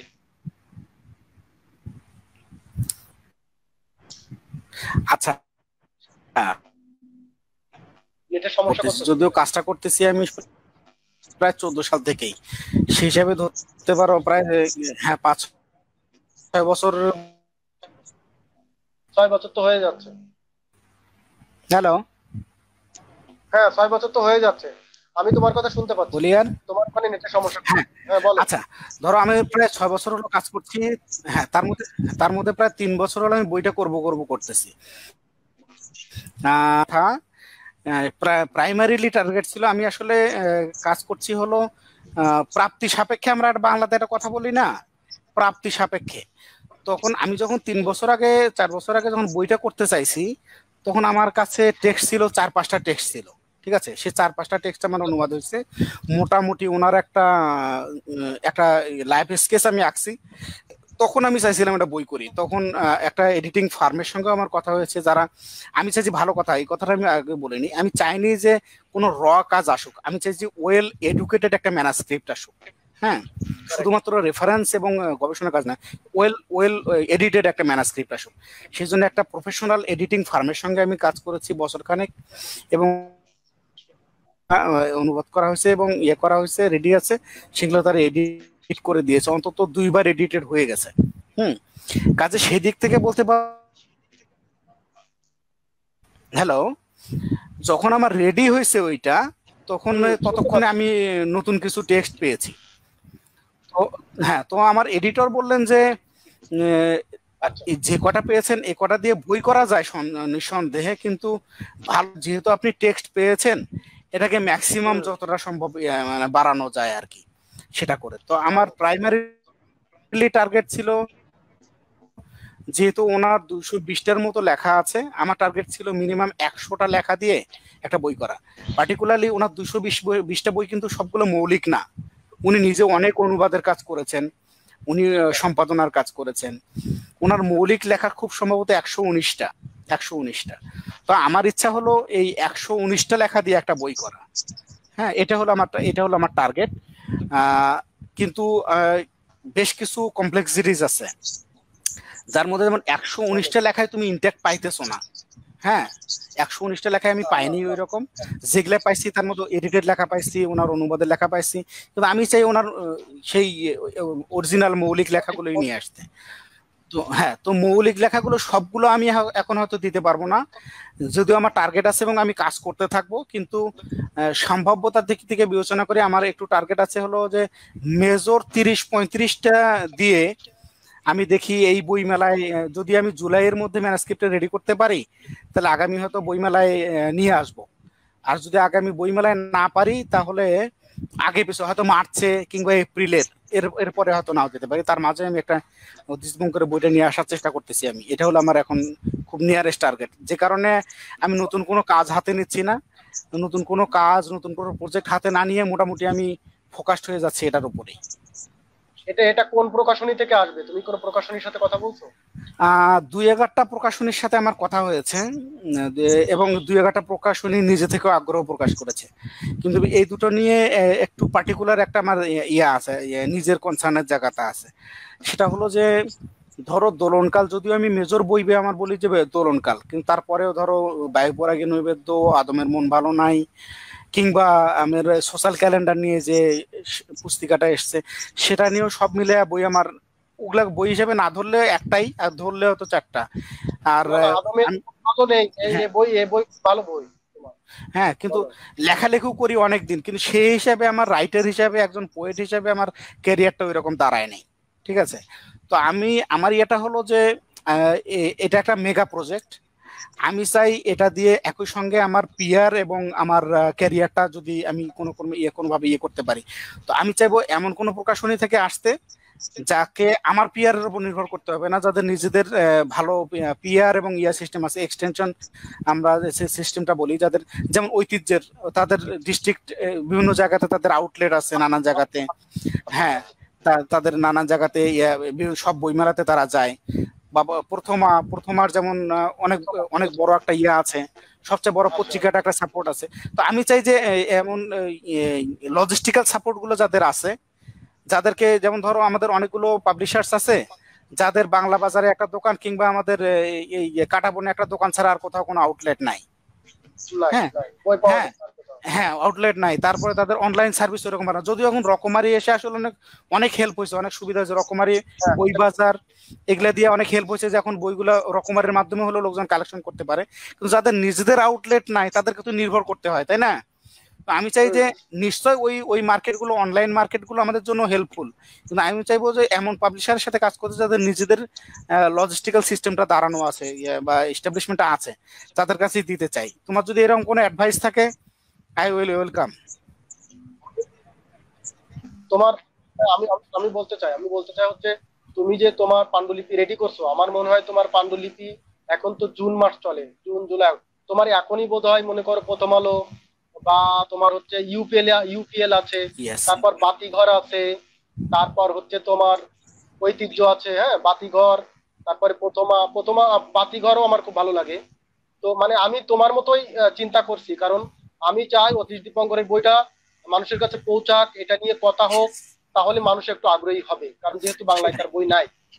ফলে তুমি যদি এখন এখন থেকে যদি শুরু করো মানে এই মাস থেকে তোমার শুরু করতে হবে তুমি পাণ্ডুলিপিটা গুছিয়ে মোটামুটি তুমি প্রয়োজনে তুমি তুমি তখন ঢাকাতে আছো তুমি এখন প্রয়োজনে তুমি মানে বডি টু বডি কন্ট্যাক্ট করো হ্যাঁ? সেটা আরও ভালো হয়। তাহলে তুমি আরও অনেক অভিজ্ঞতা পাবে আমার মনে হয়। হ্যাঁ আরও অনেক অভিজ্ঞতা পাবে। যে আচ্ছা আমি- ইয়ে চেষ্টা মনে করব আগামী মাসে আছে হচ্ছে জাফর আহমেদ। আমি তোমাকে জাফর আহমেদ রাশেদ ভাইয়ের নাম্বার দিব। জাফর আহমেদ রাশেদ ভাইয়ের কাছে তুমি পাণ্ডুলিপি নিয়ে গিয়ে কথা বলবা ঠিক আছে? তারপর হচ্ছে ঐতিহ্যের যদি তুমি কথা বলতে চাও তাহলে আমাদের জুনুরাইন ভাই আছে জুনুরাইন ভাইয়ের মাধ্যমে বা ইমরান মাহফুজের মাধ্যমে তুমি বলতে পারো ঐতিহ্যের কথা বলতে পারো। ইমরান আচ্ছা। মাহফুজের সাথে তো আরি আহ, আহ, খুব ভালো সম্পর্ক। তুমি আচ্ছা, কথা কথা হবে তো আমি চেষ্টা করতেছি আগামী আগামী মাসের মধ্যে আমার পাণ্ডুলিপিটা আমি সাবমিট করে দিতে চাচ্ছি। দেখি কি অবস্থা দাঁড়ায়। আচ্ছা তোমার কি কোনো আর কোনো ব্যস্ততা আছে? মানে এখন কোনো আরে না কি বলো? তোমার সাথে কথা বলে এখন সবচেয়ে বড় ব্যস্ততা আর কোনো ব্যস্ততা নাই। আচ্ছা এখন হচ্ছে আমরা একটু একটু মানে প্রশ্ন করতে চাই। মানে তোমার তোমার প্রিয় কবিরা হ্যাঁ? তোমার প্রিয় মানে তুমি প্রথম কার কবিতা পড়ে তোমার অনুপ্রেরণা হয়েছিল যে কবিতা লিখবা কবি হবে? পাঠ্য বইয়ের কবিতা তো কবিতাই। বলা হয় যে পাঠ্য বইয়ের কবিতা নাকি পড়াই হলো মানে তারা খুন হয়ে যায় শিক্ষকদের হাতে। ঠিক আছে? তো আমাদের শিক্ষকরা তো কবিতা পড়ায় নাই কবিতা গেলাইছে। বলছে যে বেটা দশ লাইন পর মুখস্থ কর এটা আবার মানে বইপত্রে লিখতে হবে। ঠিক আছে? মানে ওই যে মানে পরীক্ষার খাতায় লেখা লাগবে। কিন্তু আহ, আমি সর্বপ্রথম পাঠ্য বইয়ের বাইরে যার কবিতা পড়ে আসলে উদ্বুদ্ধ হয়েছি খুব সম্ভবত খন্দকার আশরাফ। আচ্ছা খন্দকার আশরাফ হোসেন। হ্যাঁ খন্দকার আশরাফ হোসেন একটা পত্রিকা সম্পাদনা করতেন। সেটা আমি পড়েছি বোধ হয় উনিশশো ছিয়ানব্বই বা বিরানব্বই তিরানব্বই চুরানব্বই ভুলে গেলাম। কি অমৃত অক্ষর এরকম নাকি? না না না অমৃতাক্ষর না পৃথিবীও না। আহ, ওনার কি নাম ছিল? ওয়া দিয়ে বোধহয়। আচ্ছা আমার ঠিক মনে মনে করতেছে না। ভুলে গেলাম হ্যাঁ হ্যাঁ। কাগজ করতেন হ্যাঁ ওটাতে ওই কাগজটা কিন্তু এখনও প্রকাশিত হয় তুমি জানো? আমি তাই নাকি? আমরা ওনার ওনার মনে- ওনার মারা যাওয়ার মারা যাওয়ার পরে বোধহয় ওনার ইয়েটা দেখছিলাম আমি। এনিওয়ে তো সেই পত্রিকা লিখতেন হলো আমি ওনার যে প্রথম যে কবিতার আশির দশকের যে কবিতার বই পড়ে আমার ইয়ে হয়েছে আর কি। তো ওনারা লিখতেন সেখানে স্ট্যালিন ভাই ছিলেন খন্দকার আশরাফ। হ্যাঁ রেজাউদ্দিন স্ট্যালিন ছিলেন। এরকম আরও কয়েকজনের বই ছিল। কিন্তু স্ট্যালিন ভাইয়ের একটা কবিতা আমার এখনও কয়েকটা লাইন আমার মনে আছে। ওই যে যারা এখনও যুদ্ধে আসেনি তাদেরকে বলে দিও ওরা আমাদের বন্ধু নয়। এরকম একটা লাইন মানে আমার এখনও রোম দাঁড়ায় যায়। স্ট্যালিন ভাইয়ের সেই সময়গুলোর কবিতা তো কবিতা ছিল না ছিল বন্দুকের গুলি। আমি বলি যে স্ট্যালিন ভাইয়ের কবিতা আর আসতেছে না কিন্তু সেই সময় যে কবিতাগুলো আমি পড়ছি যে কবিতাগুলো পড়ে আমাকে এত ইন্সপায়ার করেছে আমি এখনও পর্যন্ত আমার বললাম যে আমার রোম দাঁড়ায় যায় যে কি কি পড়তেছি। তো ওগুলা ওগুলা পড়ে আসলে আমি মনে হয়েছে যে ওয়াও ওয়াও এগুলো মরা কবিতা না এগুলো কবিতা। হ্যাঁ। এরকম আর। আচ্ছা আশি আশি আ- আমরা আমরা ওই সময়টাই বেশি আমরা সত্তর আশির কবিতা হ্যাঁ বেশি পড়ছি ষাট সত্তর আশি বা ওই সময় আমরা পত্রিকাও পড়তাম। দৈনিক পত্রিকায় যে সমস্ত কবিতা ছাপা হতো ওইগুলো আমরা বেশি পড়তাম গ্রামে বসে বসে। হ্যাঁ তো তোমার তোমার তোমার এই কবিতার বাইরে এবং তুমি তুমি যে একটা বড় গবেষণার কাজ করলে তোমাকে অভিনন্দন। এর বাইরে কবিতার বাইরে আর তোমার কোনো কাজ করার কোনো পরিকল্পনা আছে কিনা পরে? গল্প উপন্যাস। কারণ তোমার আদমের মন ভালো নেই আমি কিন্তু পড়েছি আমার কাছে ভালো লাগছে। এবং এই বইটার নামটা গেতে যাওয়ার মতো মনে। আমার মনে হয় আদমের মন ভালো নেই এই বইটা তোমার আবার নতুন কবিতা দিয়ে অ্যাড করে আনা উচিত। এই বইয়ের নামটা অসাধারণ। আচ্ছা আসলে আমার মনে হয় প্রচ্ছদ মনে আছে। না আমার মাঝে মাঝে মনে হয় কি জানো আমি গতকালও ভাবতেছিলাম যে আমি গল্প লিখতে পারি না। আমার গল্প লেখা উচিত না। গল্প লিখতে পারি না উপন্যাস তো লিখতে পারি না। এগুলো আমার লেখা না আমি কবিতা লিখতে পারি কবিতাই লিখি। আর এটা হলো যে একেবারে যে লিখি তা না মাঝখানে আমাদের বেশ কিছুদিন হলো লেখা হচ্ছে না। কিন্তু আমার তুমি জানো দশ বারোটা গল্প আমার আছে। দশ বারোটা গল্প আমার হয়ে আছে। গত বইমেলার আগে ইমরান বলতেছিল যে ভাই বইটা করে ফেলেন। হুম বইটা করে ফেলেন। সেই হিসাবে ওকে আমি কথা বলো যে গল্পগুলো দিছিলাম যে দেখ তুই পাণ্ডুলিপিটা সাজা ভাই। সাজা যদি বইটা করতে পারিস। ঐতিহ্য থেকে আরিফ ভাই বোধহয় বলছিল যে, যদি রেজা যদি পাণ্ডুলিপিটা দেয়, তাহলে আমি বইটা করব। হ্যাঁ কিন্তু যেটা হয়েছে, সেটা হলো যে মাথার মধ্যে ক্লিক ক্লিক করে। বুঝছ? তো মনে করলাম যে মানে আমার কবির ক্যারিয়ার এখনও দাঁড়ায় নেই। মাঝখানে আমি ছোট গল্পকারের ইয়ে মারবো, যেটা হয়, তো আমি যে ব্যক্তিগতভাবে যেটা বিশ্বাস করি, যে তুমি যদি অনেকগুলো অনেকগুলো উইংস নিয়ে কাজ করো না তোমার ফোকাসগুলো যদি ভাগ হয়ে যায় তখন তুমি একটা পার্টিকুলার তোমার ইয়েটা দাঁড়াইতে পারে না। দাঁড়াইতে পারে না। ইয়া যেটা বলতেন বলতেন যে ফরাসি সম্রাট আমার এই আজকেও নামটা মনে পড়তেছে না। উনি একটা কথা বলেছিলেন যে ওনাকে বলছিল যে আপনি এত এত কাজ করেন কেন বলো যে আমার মাথার ভিতর অনেকগুলো ড্রয়ার আছে। যখন যে কাজটা করি আমি বাকি সব ড্রয়ার বন্ধ করে দিই। দিয়ে যে ড্রয়ারটা খোলা থাকে ওইটা ওই- ওই- ওইটা আমি দেখি। তো তোমার এইরকম হয়ে যায়। তোমার যদি অনেক হ্যাঁ অনেকগুলো ফোকাস হয়ে যায় এখন তো একটা চল চলে আসছে। হ্যাঁ, আমরা যা যারা কবিতা লিখি তারা গল্প লিখি উপন্যাস লিখি নাটক লিখি সিনেমা মানে পরিচালনা করি অভিনয় করি প্রযোজনা করি সবকিছু আমরা করব আর কি। তো এত এত এতে হয়ে যায় কি? যেমন হিজল জোবায়ের। আমি বলি যে হিজল ভাই is a great point Hijal ভাই খুবই শক্তিশালী কবি। কিন্তু মুশকিল হলো, হিজল ভাই পরিচালকও হইতে চায়, হিজল ভাই অভিনেতাও হইতে চায়, হিজল ভাই মানে গানও লিখতে চায় কামু ভাইয়ের মতো। কামু ভাইয়েরও ওইটা হয়েছে কিন্তু। তারা অনেক ভালো লেখে, তারা হ্যাঁ তারা অনেক ভালো জানে, তারা অনেক ভালো পারে তাদের কাজটা। কিন্তু তোমার ফোকাস যদি ভাই পাঁচটা দিকে চলে যায়, কবিতাতে তো ফোকাসটা থাকে না। আমার কবিতার কাজ যদি আমি ভালো করতে চাই, তাহলে তো আমি আমি আমার গল্পে, আমার উপন্যাসে যেতে পারি না পারব না। আমার আমি তো আর অত বড় মানুষ নেই আমার সবগুলো ড্রয়ার বন্ধ করি একটা ড্রয়ার চালু করব। আমি একটু ফোকাস না আসলে একটা বিষয়ে নিবেদন নিবেদন করলেই ভালো হয়। মানে যে হ্যাঁ। কোনো তুমি যেটাকে বেশি ভালোবাসো মানে তোমার যদি মনে হয় আমি এটা এটা হতে চাই সেটাতে তুমি ফোকাস হবার পর আল মাহমুদের মতো কবি হবার পরে গল্পকার হও তারপর উপন্যাসিক হও। সমস্যা এই জন্য কোনো হ্যাঁ। হুম। কোনো কিছু একটা হয়ে করা। শুধুমাত্র এই কারণেই এই কারণেই আমি ছোট গল্পের বই করি নাই। বইয়ের গল্প আমি স্টপ করছি, ঠিক আছে? বলুন যে এখন বই আমি করব না। দরকার পরে আরও পাঁচ বছর পরে করব, দশ বছর পরে করব, কিন্তু এখন করব না। আমার আরও দুটো কবিতার বই বারাক আমার অতীশ দীপঙ্কর বারাক ঠিক আছে? যখন সব ওয়েল সেট হয়ে যাবে তখন হয়তো করব। তো এই প্রসঙ্গে মানে এই কথাটা আসছিল আর কি, আমাকে কথাটাই বলছিল যে, তখন কি এটার আবেদনটা শেষ হয়ে যাবে না? বুঝছ? তো আমি ওই কথাটাই বলি যদি আবেদনটা শেষ হয়ে যায় ওটা লিখবই না। লিখব না ওটা লিখবই না ঠিক আছে? আমি এমন কোনো কবিতা লিখি নেই এমন কোনো গল্প লিখি নেই লিখব না। যেটার আবেদন দুই বছর পরে আমি মরার পরে ওটা যদি কোনো কথা না বলে ওটা যদি কোনো আবেদন না করে তোমার কাছে এই গল্প এই কবিতা আমি লিখতে চাই না। আচ্ছা তোমার কাছে ভালো ভালো কথা বলছো। আচ্ছা আমার একটা নতুন কথা মনে পড়ল এখন একটু প্রশ্ন করি। সেটা হচ্ছে তোমার জন্ম তো গাইবান্ধাতে। তো গাইবান্ধার শিল্প সাহিত্য নিয়ে তোমার কি নস্টালজিয়া কি আছে? একটু বলবা? বা গাইবান্ধা শিল্প সাহিত্যের এখন হাল নাগাদ। গাই গাইবান্ধা শিল্প সাহিত্য ভালো কথা বলছো। শোনো আমি হলো একটা কুয়োর ব্যাং আমি গাইবান্ধার ছেলে আমি বিষ্ণুপুরের ছেলে। বিষ্ণুপুর নিয়ে গত আমার নতুন বইয়ের শিরোনাম হলো বুবু বিষ্ণুপুর বুঝছ? বিষ্ণুপুর নিয়ে আমার- তুমি। হ্যাঁ বিষ্ণুপুর নিয়ে আমার প্রচুর কবিতা আছে এবং বিষ্ণুপুরের মধ্যে গাইবান্ধাও আছে বিষ্ণুপুরের মধ্যে বাংলাদেশও আছে। তাতে কোনো সন্দেহ নাই। কিন্তু কথা হলো, আমার বাড়ি হলো পৌরসভার বাইরে। গাইবান্ধার সম্পর্ক হলো হ্যাঁ গাইবান্ধার সাথে সম্পর্ক হলো আমার উনিশশো ছিয়ানব্বই, সাতানব্বই সালে আমি এসএসসি পাশ করার পরে থিয়েটার করতে গেছি। আমার এক বড় ভাই থিয়েটার আমার এক বড় ভাই থিয়েটার করতো, ঠিক আছে? তো আমার থিয়েটারের প্রতি, নাটকের প্রতি যে আমার যে একটা একটা প্যাশন এই প্যাশনটা সে জানতো। তো তখন আবার একটু বড় হয়েছি কলেজে ভর্তি হয়েছি, ঠিক আছে? আব্বা আমাকে একটা সাইকেল কিনে দিছে, তো সাইকেল চালায় থিয়েটার করতে যাইতাম।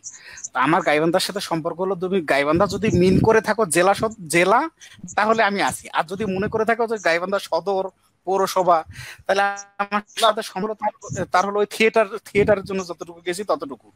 ঠিক আছে? এর বাইরে গাইবান্ধাতে আমার ওই যে ভাইয়া থাক, ভাইয়ার সাথে আমি থিয়েটার করতে যেতাম ওর আব্বা থাকতো, ওদের বাসায় আমি যাইতাম। হ্যাঁ সেটা নিয়ে একটা ছোটবেলায় একটা মজার গল্প আছে ওর বাসায় যাওয়া নিয়ে। আর একটা হলো যে গাইবান্ধা জেলা তো জেলায়, সেখানে আমি বড় হয়েছি জন্মেছি, বড় হয়েছি, সেই অর্থে গাইবান্ধার সাথে সম্পর্ক আছে।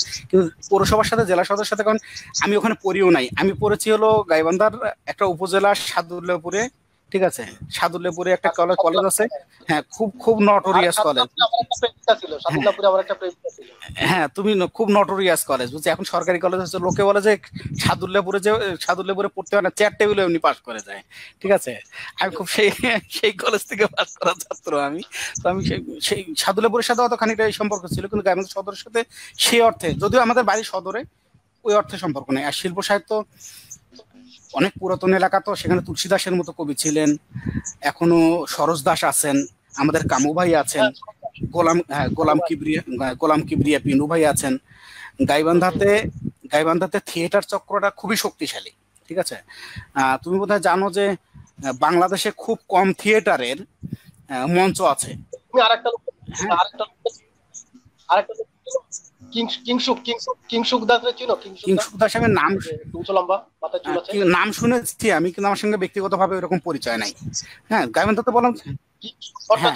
তো থিয়েটার থিয়েটার আন্দোলন থিয়েটার আন্দোলনটা খুবই শক্তিশালী গল্প কবিতা সাহিত্যর ওই রকম আমি যেহেতু নিজে অত অ্যাড্রেস না আমি জানি যে গাইবান্ধা মানে আমি বুঝি সরোজ দাস গাইবান্ধা মানে বুঝি আমি কামু ভাই গাইবেন্দা মানে বুঝি আমি গোলাম কিবরিয়া পিনু গাইবান্ধা মানে তুলসী দাস তাদেরকে আমি বুঝি তারাই আমার কাছে গাইবান্ধার ফেস শিল্প সাহিত্যের দিক দিয়ে যদি বলো। কলিয়ার হ্যাঁ আচ্ছা। আমরা আমরা আরেকটু এবার একটু ভিন্ন দিকে চলে যাব। হ্যাঁ মানে বলো। লেখালেখির বাইরে কিন্তু আমাদের অনেক আবার বিভিন্ন ধরনের শখ থাকে। শখ মানে আমি আমি সারা ওই যে সারা দুনিয়া না যেহেতু এটা আড্ডা আমরা সারা দুনিয়া নিয়ে কথা বলতে পারি সেটা আমি বিশ্বাস করি। ডাঙ্গুলি খুব পছন্দ করতাম ডাঙ্গুলি। তারপর হচ্ছে মার্বেল তারপর ঘুড়ি উড়ানো। এই তুমি কি ঘুড়ি উড়াইছো? ঘুড়ি? ঘুড়ি উড়াইছি হাডুডু খেলছি ডাঙ্গুলিও খেলছি দাঁড়িয়াবান্ধাও খেলছি গ্রামের ছেলে তো সবই খেলছি ফুটবলও খেলছি। আমি তখনই খুব ড্যাম গুড তোমার player I was not a player হ্যাঁ? আচ্ছা তোমার স্কুলের বন্ধু না কিন্তু শৈশবের কোনো বন্ধুর সাথে তোমার এখনও কোনো যোগাযোগ বা রিলেশন আছে বা এরকম তৈরি হয়েছে? যে কোনো না কোনো ক্রম ভাবে শোনো গ্রামের একটা সুবিধা হলো কি জানো? গ্রামের সুবিধাটা হলো তুমি মানে তিন গ্রামের ছেলেপেলেকে তুমি চিনবা তিন গ্রামের ছেলেপেলে তোমার চিনবে। ঠিক আছে? এবং তারা তারা প্রায় প্রায় একটা স্কুলের ছাত্র। এখন যদিও আমাদের গ্রামে এই মুহূর্তে পাঁচটা স্কুল প্রাইমারি স্কুল পাঁচটা। That's a big. ঠিক আছে? অনেক বড় একটা গ্রাম। হ্যাঁ গ্রামের এই মাথাটুকু মাথা। এখন পাঁচটা পাঁচটা প্রাইমারি স্কুল আছে দুইটা হাই স্কুল আছে। এখনও কলেজ নাই। আমি মনে করো যে হয়তো আমি একটা আমার একটা ড্রিম হলো অনেকগুলো ড্রিমের কথা বলছো না তার মধ্যে একটা ড্রিম হলো আমার গ্রামে আমি একটা কলেজ ইউনিভার্সিটি বানাইতে চাই আসলে। ঠিক আছে?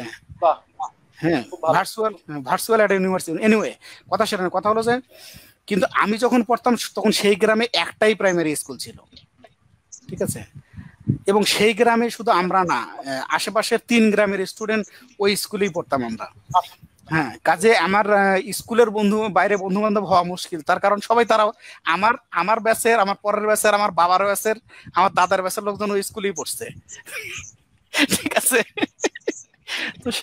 আচ্ছা তুমি- কি তুমি লেখালেখি করতে এসে কি তোমার পরিবারের কোনো বাধার সম্মুখীন হয়েছো বা তুমি লেখালেখি যে করো এটা কি তোমার পরিবার জানে? জানে। জানবে না কেন জানে? আমার ভাই বোন ভাই বোনেরা জানে। বাবা মাও জানে।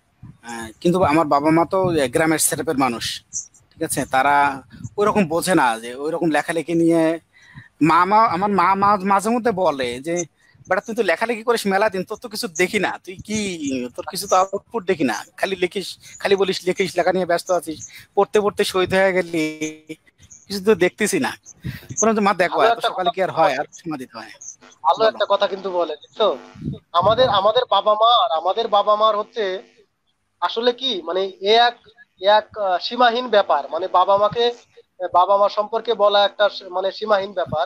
মানে আমার মনে হয় দেখো আমাদের বাবা মা হচ্ছে স্কুলে যায় নাই। কিন্তু যখন বাবা যখন মা তখন আমাদেরকে তো তারা ধারণ করছে।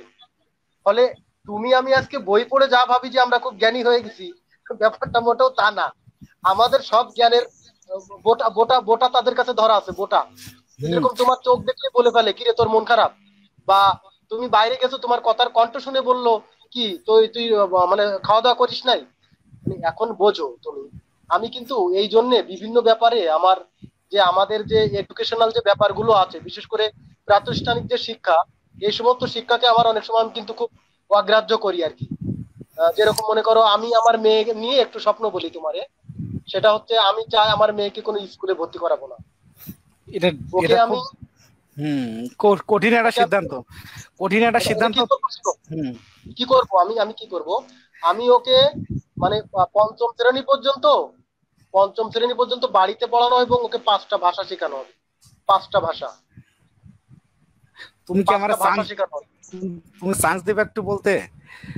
বলো বলো। রবীন্দ্রনাথের শান্তিনিকেতন যখন শুরু হয় তখন সেটা আশ্রম হিসেবে শুরু হয়েছে। তখন সেটা গাছের তলে শুরু হয়েছে। তখনকার ক্ষিতীশচন্দ্র ক্ষিতীশচন্দ্র সেনরা যখন পড়াইছেন কিংবা ধরো ইয়ে, ফ্রান্স থেকে ইংল্যান্ড থেকে আমেরিকা থেকে যে টিচাররা এসেছেন রাশিয়া থেকে টিচার এসেছেন তারা কিন্তু ঘাসের ওপর বসে গাছের ওপর প্রতিষ্ঠান গাছের ওপর গাছের নিচে বসে পড়া- পড়াগুলো পড়াইছে। ঠিক আছে? কিন্তু শান্তি শান্তিনিকেতন কিন্তু একটা ইউনিভার্সিটি। এখন একটা ইনস্টিটিউশন এখন একটা ইনস্টিটিউশন এবং ইনস্টিটিউশনটা দরকার হয়। দরকার হয় কেন? তুমি যদি হ্যাঁ আমি ব্রিটিশ স্কুল সিস্টেমে এখনও দেখছি। আমার ওই বাচ্চার ক্লাসে একজন টিচারে সবকিছু পড়াইতো। একটা ব্যাস একটা বছরে একজন টিচারে পড়াইতো, যদিও তার অ্যাসিস্ট্যান্ট থাকতো। সেটার হয়তো একটা সুফল আছে। কিন্তু খানিকটা কঠিনও। খানিকটা অনেক হ্যাঁ তোমাকে তোমার মাথার মধ্যে একটা জিনিস, একটা সেট আছে। তার কোনো সিলেবাস আছে। সিলেবাস থেকে একটা টিচারে পড়ায়। কিন্তু তুমি যখন বাসায় পড়াচ্ছ তোমার কোনো সিলেবাস নাই। হাজারটা বিষয় নিয়ে তুমি কথা বলবা কিন্তু স্ট্রাকচার প্রাইমারি বা স্কুলিং সিস্টেম ওই যে মোহাম্মদ আজম ভাইয়ের একটা লেকচার আছে। ওই। লেকচারটার মধ্যে উনি উনি শিক্ষা ব্যবস্থাগুলো বুঝাই দিচ্ছেন যে আমাদের প্রাইমারি স্কুলে টার্গেট কি থাকে? একদম বেসিক রিজনিং শেখানো। ঠিক আছে? শিক্ষা ব্যবস্থার সময় সাধারণ একদম সাধারণ ধারণা দেয়া তো প্রাইমারির একটা টার্গেট থাকে। সংখ্যার ধারণা দেয়া অ্যালফাবেটের ধারণা দেয়া ধ্বনির ধারণা দেয়া নানান বিষয়ের ধরনের ধারণা দেয়া থাকে। তুমি মেয়েকে পড়াইতে চাও পড়াও। ঠিক আছে? শান্তি তোমার বাসা শান্তি নিকেতন হোক আমি সেটা কায় মনে প্রার্থনা করি। কিন্তু মেয়েকে স্কুলের বাইরে রাখো না। এর একটা অনেকগুলো কারণ যদি বাদও দেয় একটা কারণ তুমি অস্বীকার করতে পারবা না। স্কুল মানে হলো সঙ্গ স্কুল মানে হলো গ্যাদারিং স্কুল মানে সোসাইটি তারা তোমার বাসা তোমার বাসাতে তোমার তোমার ওয়াইফ ছাড়া ভাবি ছাড়া কেউ নাই। হয়তো তোমার বাবা তোমার মা আসবেন তোমার বাবা আসবেন বা তোমার হয়তো দু একজন ভাই ব্রাদার আসবেন। তাছাড়া বাচ্চাটা কাউকে পাইতেছে না কিন্তু স্কুল গেলে অন্তত বিশটা বাচ্চাকে পাবে। এই যে বিশটা বাচ্চার সাথে তার সোশ্যালাইজেশন হবে তারপর অন্য ক্লাসের বাচ্চাদের সাথে নানান বয়সের বাচ্চাদের সাথে মিশে সোসাইটির একটা স্ট্রাকচারের একটা ধারণা সোসাইটির সাথে ইন্টারাকশনের ধারণাটা সে ওখানে পাবে। এবং ওখানে সে শিখবে হলো খেলতে খেলতে আনন্দের সাথে। তোমার সাথে সে শিখবে তোমাকে তুমি যদি দিনের পর দিন পড়াইতে থাকো না তোমার সে মাস্টার মশাই ধরে নেবে তোমার কথা সে শুনবে না তোমার সাথে সে পড়বে না। কিন্তু ওখানে সে মাস্টারের কাছে পড়বে একবার কিন্তু একশোটা বাচ্চা কাচ্চার কাছে একশো ধরনের শেখা শিখবে। হ্যাঁ ও অবশ্যই গালাগালিও শিখতে পারে দুই এগারটা কিন্তু হাজারটা বিষয় শিখবে সেটা দরকার আছে। দরকার তোমার তোমার ব্যাপারটা বললে এটা আমি আমি বুঝছি। সেক্ষেত্রে আমি ভাবছি এটার আমি অল্টারনেটিভ বা বিকল্প কিছু ভাববো কিনা? যেরকম আমি আমি পোলাপানরে স্কুলের পোলাপানরে ফ্রি পড়াবো পড়ায় আমার বাড়ি নিয়ে আসব। তোরা এখানে এসে পড়বি। মানে আমি হচ্ছে আমার আমার একটা রোমান্টিসিজমের জায়গা থেকে হয়তো বলতেছি বা আমি একটা পপুলারিটির জায়গা থেকে হয়তো বলতেছি একটা পরিবর্তনের জায়গা থেকে বলছি কিন্তু আসলে তুমি এই কাঠামো থেকে তো তুমি বের হয়ে এসে কোনো কিছু করা খুব কঠিন হয়ে যাবে। এই আর কি। তো আমরা আমরা যদি মনে করো আমাদের আমাদের কালকে হচ্ছে মাসুদুজ্জামান স্যার একটা লাইভ করেন।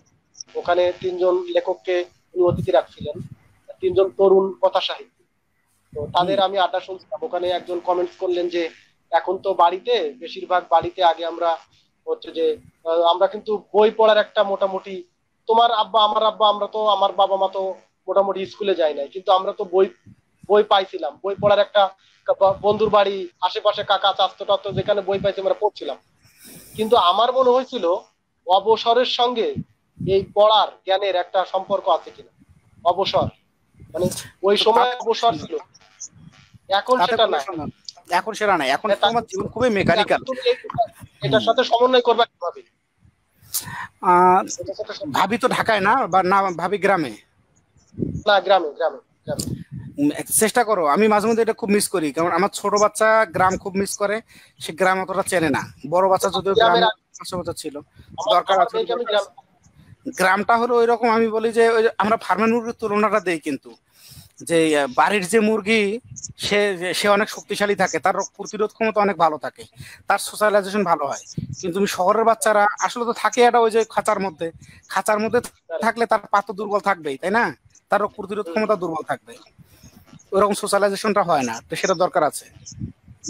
ওটা হয় ওটা দরকার আছে। যেরকম আমি মানে আমি বিশেষ করে মানে আমাদের যে সামাজিকীকরণ যে সিস্টেম আমি চাচ্ছি যে ওর তো আমার আমার বাবা আমার মা ওর নানি দাদি সবাই বেঁচে আছে এখন। হুম। এমনকি আ- আমার নানি বেঁচে আছে তারপরে আমার আমার নানি শাশুড়িও বেঁচে আছে। ওয়াও ওয়াও আমি গ্রেট এই সবার সাথে সবার সাথে আমি তাদেরকে হচ্ছে ম- মনে রাখতে চাই আর কি রাখতে চাই এই স্মৃতিগুলো তার হোক দরকার থেকে আমি মিস করাতে চাই। অফকোর্স অফকোর্স একটা বিন্দু যেন মিস না করে একটা বিন্দুও যেন মিস না করে। আমি সেটা করতে চাই। আচ্ছা তুমি তুমি এই লাইফটায় আসার পর তোমার কি মনে হলো যে আমি আমি হয়তো অনেক প্রশ্ন আমার তুমি বলতে চাও এই ধরনের কোনো প্রশ্ন করতে পারিনি এরকম কোনো কথা বলার আছে তোমার? বুঝি নাই। মানে আমরা এখন লাইভে আসব। হ্যালো এরকম ইচ্ছা করে তোমার কোনো কথা বলার ছিল কিন্তু আমি সেই ধরনের প্রশ্ন করিনি তোমার কোনো কথা বলার তোমার শুনতে পাচ্ছ? কেটে কেটে যাচ্ছে। কি বলতে চাইলা কি বলতে কি আমি শুনতে পাচ্ছ এখন? হ্যাঁ বলো বলো। নেটে সরবা হ্যাঁ নেটে মনে করার পর তুমি কিছু বলবা আমি এখনও প্রশ্ন করি সেই বিষয়ে। এরকম কোন বিষয় আছে যে তুমি কথা বলতে চাও উইলিংলি না, এরকমই আর কি। আগেরগুলোর সাথে তোমার তোমার যে ফর্মটা, তোমার যে আলোচনাটা, এর কিন্তু একটা কোয়ালিটিটিভ চেঞ্জ হয়েছে ঠিক আছে? কোয়ালিটিটিভ চেঞ্জ আগে যেরকম ভাবতেছিলাম, গত গতকাল যেটা হয়েছে কিংবা আজকে সকালবেলা যেটা হয়েছে কোয়ালিটিটিভ চেঞ্জ হয়েছে you have done a great job ঠিক আছে? চমৎকার চমৎকার হয়েছে আর আসতেছ যদি এটাকে এটাকে একটু, একটা গ্রেটার ইয়ে ফর্ম দাও। এখানে মনে হচ্ছে যে ওয়ান টু ওয়ান এখানে আমার ধারণা স্ট্রিম স্ট্রিম ইয়ার্ডে পাঁচজন পর্যন্ত যোগ করা যায়। হুম? পাঁচজন পর্যন্ত যোগ করা যায়। তো একটু গ্যাদারিং হতে পারে। নানান সব বিষয় আসবে নানান সব বিষয়ে কথাবার্তা বলবে তুমি যেমন বলা যে দোলনকাল নিয়ে কথা বলব এরকম নানান বিষয়ে নিয়ে আমরা চার পাঁচজন মিলে একসঙ্গে গ্যাদারিং করতে পারি। এটা একসঙ্গে যে একটা খানিকটা টকশোর মতো হয়ে যাবে। আমরা টকশোর ওরা তো হ্যাঁ, পলিটিক্স নিয়ে কথা বলে আমরা শুধু পলিটিক্স নিয়ে কথা না বললাম সাহিত্য নিয়ে কথাবার্তা বললাম। আমার আমার এই আইডিয়াটা ছিল কিন্তু আমি দেখলাম আমি আমি নিজে লাইভে আসার আগে আমি কয়েকটা লাইভ দেখলাম অনেকের লাইভ দেখলাম। এখানে দেখলাম যে যদি দুইয়ের অধিক লোক হয় তিনজন চারজন হয় তখন হচ্ছে কথা অনেক বিষয় চলে আসে এটা সত্যি। কিন্তু তখন হচ্ছে মনে করো পাঁচজন কথা বললে দশ মিনিট করে পঞ্চাশ মিনিট হয়ে যায়। একই কথা। তাও ঠিক। একজনের উপর তখন ফোকাসটা থাকে না ফোকাসটা থাকে। এটা একটা ব্যাপার। সেক্ষেত্রে আমার মনে হয় হ্যাঁ ফোকাস থাকে না। আমি তোমার তোমার কাছ থেকে তোমার বিষয়ে অনেক কথা বলে এখন প্রায় আমরা এই দেড় ঘণ্টা কথা বলছি। তোমার অনেক কথা আছে। বিশেষ করে দীপ অতীশ দীপঙ্কর সম্পর্কে তুমি যেটা বললে এটা হয়তো যদি আমরা চারজন থাকতাম তুমি দশ মিনিট বলতে পারতে না। তো আমি চাইছি যে একজন একজন করে আনব। পরবর্তীতে হ্যাঁ আনব কিনা একটু ভাববো আর কি। এবং আমি একটা প্রোগ্রাম করব। আচ্ছা। সেটা আমরা লাইভও করব এবং সরাসরি করব। তোমার বই নিয়ে আমি করব। অতীশ দীপঙ্কর নিয়ে আমার অন্য ধরনের একটা ইয়ে আছে একটা ভালো লাগা আছে। তোমার বই নিয়ে তোমার বই যেদিন আসব ওইদিন প্রোগ্রাম করব। একদম হচ্ছে সরাসরি। আচ্ছা। হ্যাঁ। বই মেলাতে প্রয়োজনে বই মেলাতে প্রয়োজনে আমি ভিউ কার্ড বিলি করব তোমার বইয়ের। অতীশ দীপঙ্কর বইয়ের আমি কার্ড বিলি করব সিরিয়াস আচ্ছা আর একটা হ্যাঁ, বলো। তোমার বই বের হবার আগে আমি অতীশ দীপঙ্কর নিয়ে একটা রিভিউ করতে চাই ভিডিও রিভিউ তোমার বই আচ্ছা। আসার আগে। হ্যাঁ প্রশ্ন তুমি যখন বলতেছো তখন দুটা প্রসঙ্গে বলি। একটা হলো সম্পর্কে একটা হলো সম্পর্কে হলো যে পলাশ ভাই এসেছিলেন। পলাশ ভাই আমার চাইতে একটু সিনিয়র আমাদের চাইতে একটু সিনিয়র এটা ঠিক। কিন্তু আমরা আরও একটু সিনিয়র যারা আছেন আরও একটু সিনিয়র যারা আছেন তাদের অভিজ্ঞতাগুলো শুনতে চাই। হ্যাঁ বুঝছ? কাজে একটু শুধুমাত্র জুনিয়রদেরকে না হ্যাঁ সিনিয়র সিনিয়ররা থাকেন। হুম হুম। ভালো হয়। হ্যাঁ একটু সিনিয়রদেরকে নিয়ে এখন আসলে কি একটু আমি সিনিয়রদের সাথে বিভিন্ন সিনিয়রদের সাথে কথা বলছি। অনেক সিনিয়র আছে তার মোবাইল নেই বা মোবাইল ব্যবহার করতে পারেন না। বা অনলাইনে নাই। বোঝো নাই কথা? আচ্ছা এই হ্যাপাটা আছে এই হ্যাপাটা আছে। এই হাঁপাটা মানে কি? মনে করো যে আমি লিঙ্ক দেওয়ার পরে বোঝাইছি আধা ঘণ্টা পারে নাই। হ্যাঁ এখন মনে করো এরকম সমস্যা হয়েছে। তবু আমি চেষ্টা করতেছি আমি চেষ্টা করতেছি যে সিনিয়রদের রাখব। যেরকম হয়তো আগামী কাল বা পরশু আমাদের সরকার মাসুদ ভাই থাকবেন। সরকার মাসুদ সরকার মাসুদ ভাই আচ্ছা হ্যাঁ সরকার মাসুদ ভাই গুরুত্বপূর্ণ। সরকার মাসুদ ভাই আমার খুব প্রিয় প্রিয় প্রিয় ব্যক্তিত্ব। মাসুদ ভাই। তারপরে গিলাম গোলাম কিবরিয়া পিনু ভাইরে বললে পিনু ভাইকেও পিনু ভাইয়ের সাথে আমার আলাপ হবে। তারপর হচ্ছে আমি আমি যাব আমি আশি সত্তর মনে করো যে একেবারে যারা বেঁচে আছে আর কি সিনিয়র মোটামুটি যাইতে চাই আর কি। যেরকম আমি ইয়ের সাথে যোগাযোগ করব আর কি। ওনার নাম হচ্ছে নামটা ভুলে গেলাম এই সময়। ওই যে সুলতানকে নিয়ে লিখছে নবেরানিকে নবেরানে নবেরাকে নিয়ে উপন্যাস লিখছে এরা তিনজন। আহ, আমি মনে করতে পারতেছি এনিওয়ে হ্যাঁ সে তারা আসুক। আর একটা অতিথি পুঙ্গা নিয়ে যেটা বলে আমার অতিথি পুঙ্গা নিয়ে একটা ইচ্ছা আছে হলো পিয়ার রিভিউ করার বুঝছ? তুমি যখন ভিডিও রিভিউ করার কথা বললা আমি অতিথি পুঙ্গারে বই নিয়ে আসার আগে চাই অন্তত দশজন ব্যক্তি বইটা পড়ে রিভিউ করুক তারপরে বইটা করব। ঠিক আছে? এবং বই আমি- চাই রিভিউ করে পাবলিশ হোক। তোমার মাথায় যদি নাম থাকে কাদেরকে দিয়ে রিভিউ করানো যায় একটু নাম বলো। সেটা প্রাইভেটলি ইনবক্সে বললেও চলবে আর আমি মুখে মুখে বললেও চলবে সেটা করব না ইনশাল্লাহ আমি তোমাকে ইনবক্সে ইনবক্সে কিছু নাম দিব। কারণ অজিত দীপঙ্করের বই নিয়ে একটু সিনিয়ররা কথা বললে ভালো হবে। সাথে জুনিয়ররাও থাকবে। আমি আমিও কথা বলব। আমিও হ্যাঁ, কথা হ্যাঁ, আচ্ছা। আর আচ্ছা একটা প্রসঙ্গে একটা প্রসঙ্গে একটু বলতে চাইছি গতকালও সেদিন বলতে চাইছি কিন্তু ওদিকে তো বলার চান্স ছিল না। ওই যে মোসাব্বের ভাইয়ের মোসাব্বের ভাইয়ের ওই কথাটা নিয়ে একটু দ্বিমত প্রসারণ করার জন্যই বলি। তোমরা যে বাংলা একাডেমি ঘেরা- ঘেরাও করতে চাইলে ওই প্রসঙ্গে আর কি। প্রসঙ্গটা হলো আহ, ধরো যখন যে- কোনো বই তো আসলে পণ্যই যে কোনো সাহিত্য আসলে পণ্য বিনোদন পণ্য। কীভাবে হয়? আমরা যে এখন সুলতান সুলেমান সিরিয়ালটা দেখছি বাংলাদেশে হ্যাঁ? তো আমরা সেটা কি তুরস্ক অনুবাদ করে ঢাকায় পাঠাইছে বলে দেখছি? নাকি আমরা আমদানি কইরা অনুবাদ কইরা তারপরে হলো সাবটাইটেল দিয়া তারপরে ডাবিং করে এখানে দেখতেছি। সিস্টেমটা কি? আমার ক্ষেত্রেই এটা হলো আমার আমি যেটা হ্যাঁ বল, তুমি বলো বলো। হ্যাঁ তো আমার আমি যেটা বুঝি সেটা হলো যে আমার আমি যারা প্রডিউসার তারা ভাবছে এই জিনিসটা তারা বাংলাদেশে বেচতে পারবে।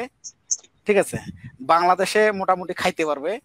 এই কথা চিন্তা করে তারা আমদানি করে নিয়ে এসে কষ্ট করে ডাবিং করে তারপরে তারা শেষছে তুমি যদি বাংলাদেশের মানিকবাবু অনেক বড় সাহিত্যিক, আমরাও অনেক মানে বড় বড় ঘাসে কাটতেছি গরুরে খাওয়ানোর জন্য।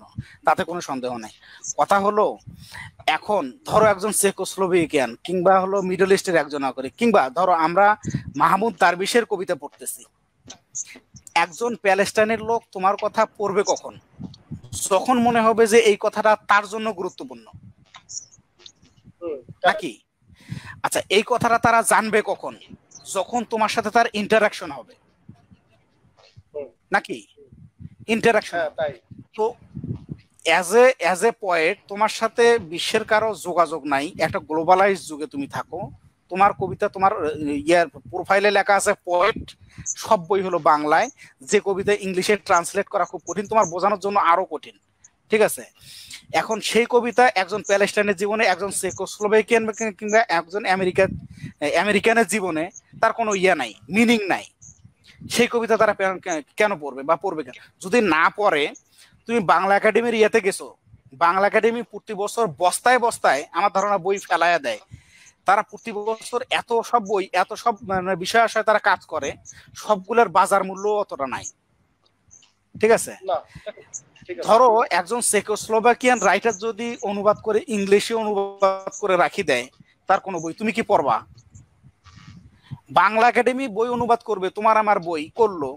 সেই বই একজন অ্যারাবিয়ান, একজন চেকোস্লোভাকিয়ান, একজন প্যালেস্টাইন আমেরিকান কেন পড়বে? যদি না, তারা ফিল করে। এই ফিলটা করাবো করে ইন্টারাকশনটা জরুরি। মানিক বাবুর সময়টা জড়িত ছিল।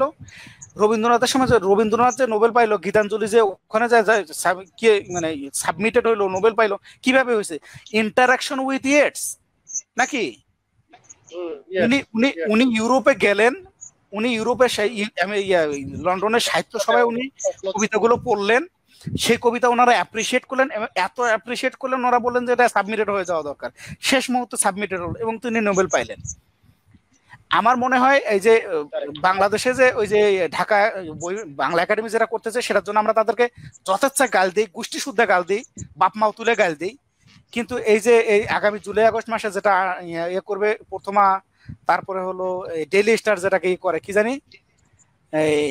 একটা ইয়ারলি তার একটা বই মেলা মেলা করে না যেখানে শশী থারুর আসলেন গত বছর।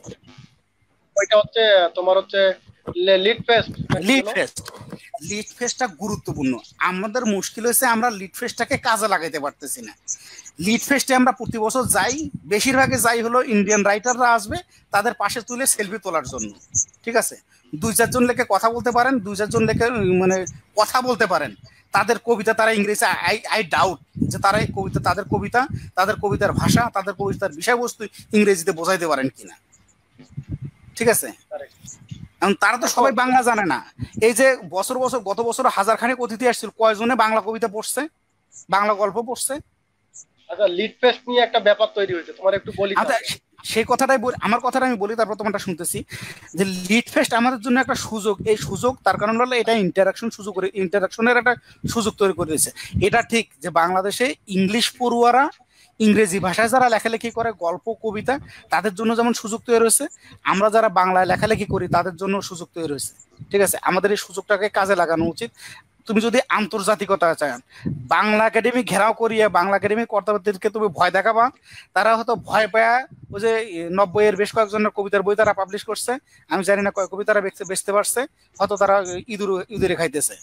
তারা হয়তো ভয় পায়, চার পাঁচটা কবিতার বই ইংলিশে অনুবাদ করে ফেলতেও পারে। ঠিক আছে? কাদেরকে তারা করবে তখন তুমি সেটা জানো, তাদের কিছু লেখক আছে, তাদেরকে দশ হাজার টাকা দিয়ে তারা অনুবাদ করে নিয়ে ছাড়িয়ে দেবে ওই ওই অনুবাদ বকরিও খাবে না। ঠিক আছে? তাই না? কিন্তু অনুবাদ তুমি যখন কবিতা করবে কবিতার লোকেরা, কবিতার পাঠকেরা কবিতা খাইতে হবে, গল্পের পাঠকেরা গল্প খাইতে হবে। এবং সেই গল্প তখন খাবে যখন তাদের জীবনে সেটা মিনিং থাকবে। মাহমুদ দারবিশ পলিটিক্যাল রাইটার লেখেন, নাজিম হিকমত পলিটিক্যাল পলিটিক্যাল কবিতা লিখছেন। সেই কবিতা আমাদের কাছে এখানে কিছু মিন করে। মিন করে বলি তুমি নাজিম হিকমতের কবিতা পড়ো। ঠিক আছে? ঠিক আছে? আমরা যে ইয়ে লি- ই- মানে দক্ষিণ দক্ষিণ আমেরিকার যে সাহিত্য পড়ি কিংবা আমাদের আদিবাসী আমেরিকানদের যে কবিতা পড়ি, সেগুলো আমাদের এখানে কিছু মিন করে মিন করে বলে পড়ি। আমাদের এমন কিছু করা দরকার যেটা একজন জেনারেল বা একজন মানে বুদ্ধিমান, একজন বোধ বোধ শক্তি সম্পন্ন অন্যদেশী পাঠকের জীবনও কিছু মিন করে। এই মিন যদি আমরা করাইতে না পারি এবং সেই শব্দটা, সেই মেসেজটা তাদের কাছে যদি পৌঁছাতে না পারি, আমরা যেন আশা না করি যে আমাদের সাহিত্য আগামী এক হাজার বছরেও অনুবাদ হয় অন্য দেশে চলে যাবে ইন্টারন্যাশনাল হবে ঠিক আছে? তোমার তাহমিমা আনাম, তোমার ঝুম্পা লাহেরি কিংবা ওই যে ক্যারাবিয়ান যে ইয়া, ওনারা যে, বা অরবিন্দ যারা ইন্টারন্যাশনালি পৌঁছেছে তারা এই কারণে পৌঁছেছে মহাশ্বেতা দেবী খানিকে পৌঁছেছেন কিংবা তোমার ইয়ারা এরা পৌঁছেছেন এই কারণে কারণ তাদের মেসেজটা কিছু মিনিং ক্যারি করে। তাদের জীবনে যদি তুমি যদি মিনিং ক্যারি করাইতে না পারো আমার কবিতা যদি কোনো মিনিং ক্যারি না করে কোনো বাংলাদেশি পড়বে না ম্যান বাইরের কথা দূরে। তাই না? আমি কেন এরকম আচ্ছা, করে হ্যাঁ আশা করব তখন। লেটস মেক ইট হ্যাঁ। এই ভ্যালুয়েশনটা করি। এখন তোমার কথাটা বলো শোনা। তোমার- কবিতা মানে মানে পূর্বের তিরিশ বছর হুম। তা যদি সত্তর আশি নব্বই এই যে তিনটা বা আমাদের পরবর্তী পর্যন্ত পাঁচটা দশক হ্যাঁ? এই স্বাধীনতার পর আর তো এই যে পঞ্চাশ বছর পঞ্চাশ বছরে কি আমাদের এমন কোনো কবিতা হয়েছে যে কবিতা ইন্টারন্যাশনালি কোনো মিনিংফুল কোনো অর্থ দেয় বা এই কবিতা অনুবাদ হয়ে গেলে তাদের তাদের জীবন বোধে না দেওয়ার মতো কি এরকম কোনো কবিতা আমাদের তাহলে কি হয়নি? আবার বিভিন্ন ধরনের কথা বলছে যে হ্যাঁ আমাদের কবিতা বিশ্ব বিশ্ব মানের কবিতা কিন্তু পৌঁছাচ্ছে না। এটা আসলে কোনটা? পৌঁছ- কোনো কবিতা হয়নি, কোনো পৌঁছায়নি এটা এরকম বলে কঠিন খুব কঠিন। আচ্ছা খুব জেনারেলি একটা একটা বলি, তারপরে প্রশ্ন করা যাচ্ছি। আমাদের এই পারে পশ্চিমবঙ্গের গত সাত দশ সাতটা দশকে রঞ্জিত গুহ বলি, সুনীল গঙ্গোপাধ্যায় বলি কিংবা আরও যে কবিরা আসছেন, তাদের কবিতার কিন্তু অনেক পাঠক এখানে আছেন, ঠিক আছে? তাদেরকে আমরা প্রায় রেফার করি। তারাও হয়তো ওই যে বলে যে যোগাযোগ থাকলে তারা মাঝে মধ্যে এরকম নাম টাম নেয়, কিন্তু তাদের কথা তারা যখন কোনো লেখা লেখে তাদের একটা লেখা তো তুমি পাবা না যেখানে বাংলাদেশের কোনো উল্লেখযোগ্য সাহিত্যিক উল্লেখযোগ্য কাজ করছে। মান্নান সৈয়দ স্যার এত বড় একজন এত বড়টা কাজ করছে। মান্নান সৈয়দের উল্লেখকে তুমি পশ্চিমবঙ্গের কোনো সাহিত্যে পাও? না না না না। মান্নান সৈয়দ এত বড় কাজ করে রফিক আজাদ আমাদের বড় কবি আমাদের কিংবা শহীদুল জহির এত বড় গল্পকার। তার কোনো উল্লেখকে তুমি পশ্চিমবঙ্গের সাহিত্যে পাও কিনা? না পাই না। না। কিন্তু তুমি কিন্তু পশ্চিমবঙ্গের কথা বলতেছো তুমি আসামের কথা বলতেছো তুমি ত্রিপুরার কথা বলতেছো তুমি অরুন্ধতী রায়ের কথা বলতেছো কারণ তোমার কাছে এটা মিন করে। ঠিক আছে? তো আমি যদি পশ্চিমবঙ্গের একটা ভাইয়ের কাছে এটা মিন করাতে না পারি যে তুমি স্পেশাল কিছু ক্রিয়েট করতেছো আসামের যারা বাংলা জানে ত্রিপুরার যারা বাংলা জানে তাদের কাছে তুমি মিন করাতে পারতেছো না তুমি খুব গুরুত্বপূর্ণ একজন রাইটার তুমি কি করে একজন এভারেজ ইন্ডিয়ান এভারেজ ভুটানিজ কিংবা এভারেজ ইউরোপিয়ানের কাছে মিন করবে, তুমি কীভাবে মিন করছ? কিন্তু কথা সেটা না ইন্টারাকশনটা মনে হচ্ছে তুমি যদি সাধারণ আমি কয়েকদিনে বেশ কয়েকজন নারী কবির কবিতা পড়তেছিলাম। গত বিশ বছরের যে নারী কবিতাগুলো লেখা হয়েছে, তুমি বাংলাদেশি নারী কবিরও কবিতা পড়তেছো, ওদের পড়তেছো আমাদের পুরুষ কবিরও কবিতা পড়তেছো, ওদের পড়তেছো। ইয়েটা কি? রফিক আজাদের এক লাইনের একটা কবিতার আমি বলি। যে কবিতাটা সবচেয়ে পরিচিত সত্তর দশকের সবচেয়ে পুরাতন ইয়ে, বিখ্যাত কবিতা। ভাত দে হারাম জাদা নন্ত মানচিত্র ছিঁড়ে খাব। ছোটবেলা থেকে শুনে আসছো আমিও শুনছি। কি মিন করে সেদিনও একটা লেকচার পড়লাম। তার কাছে লেকচার তার কাছে এটার মিন করে হলো রাস্তার লোকে যারা ক্ষুধার্ত তাদের কাছে দেশের কোনো মিন নাই তাদের কাছে খাবার পেটের ক্ষুধা খুব গুরুত্বপূর্ণ। খুব গুরুত্বপূর্ণ তাই না? কিন্তু কবি একটা পলিটিক্যাল জীব হ্যাঁ একটা পলিটিক্যাল দিক এবং তাকে ইতিহাস ঐতিহ্য ভূগোল ধারণ করতে হয়। এক হাজার বছর এক হাজার বছরের বেশি বাঙালি পরাধীন থেকে একটা স্বাধীন রাষ্ট্রের দেখা পাইছে।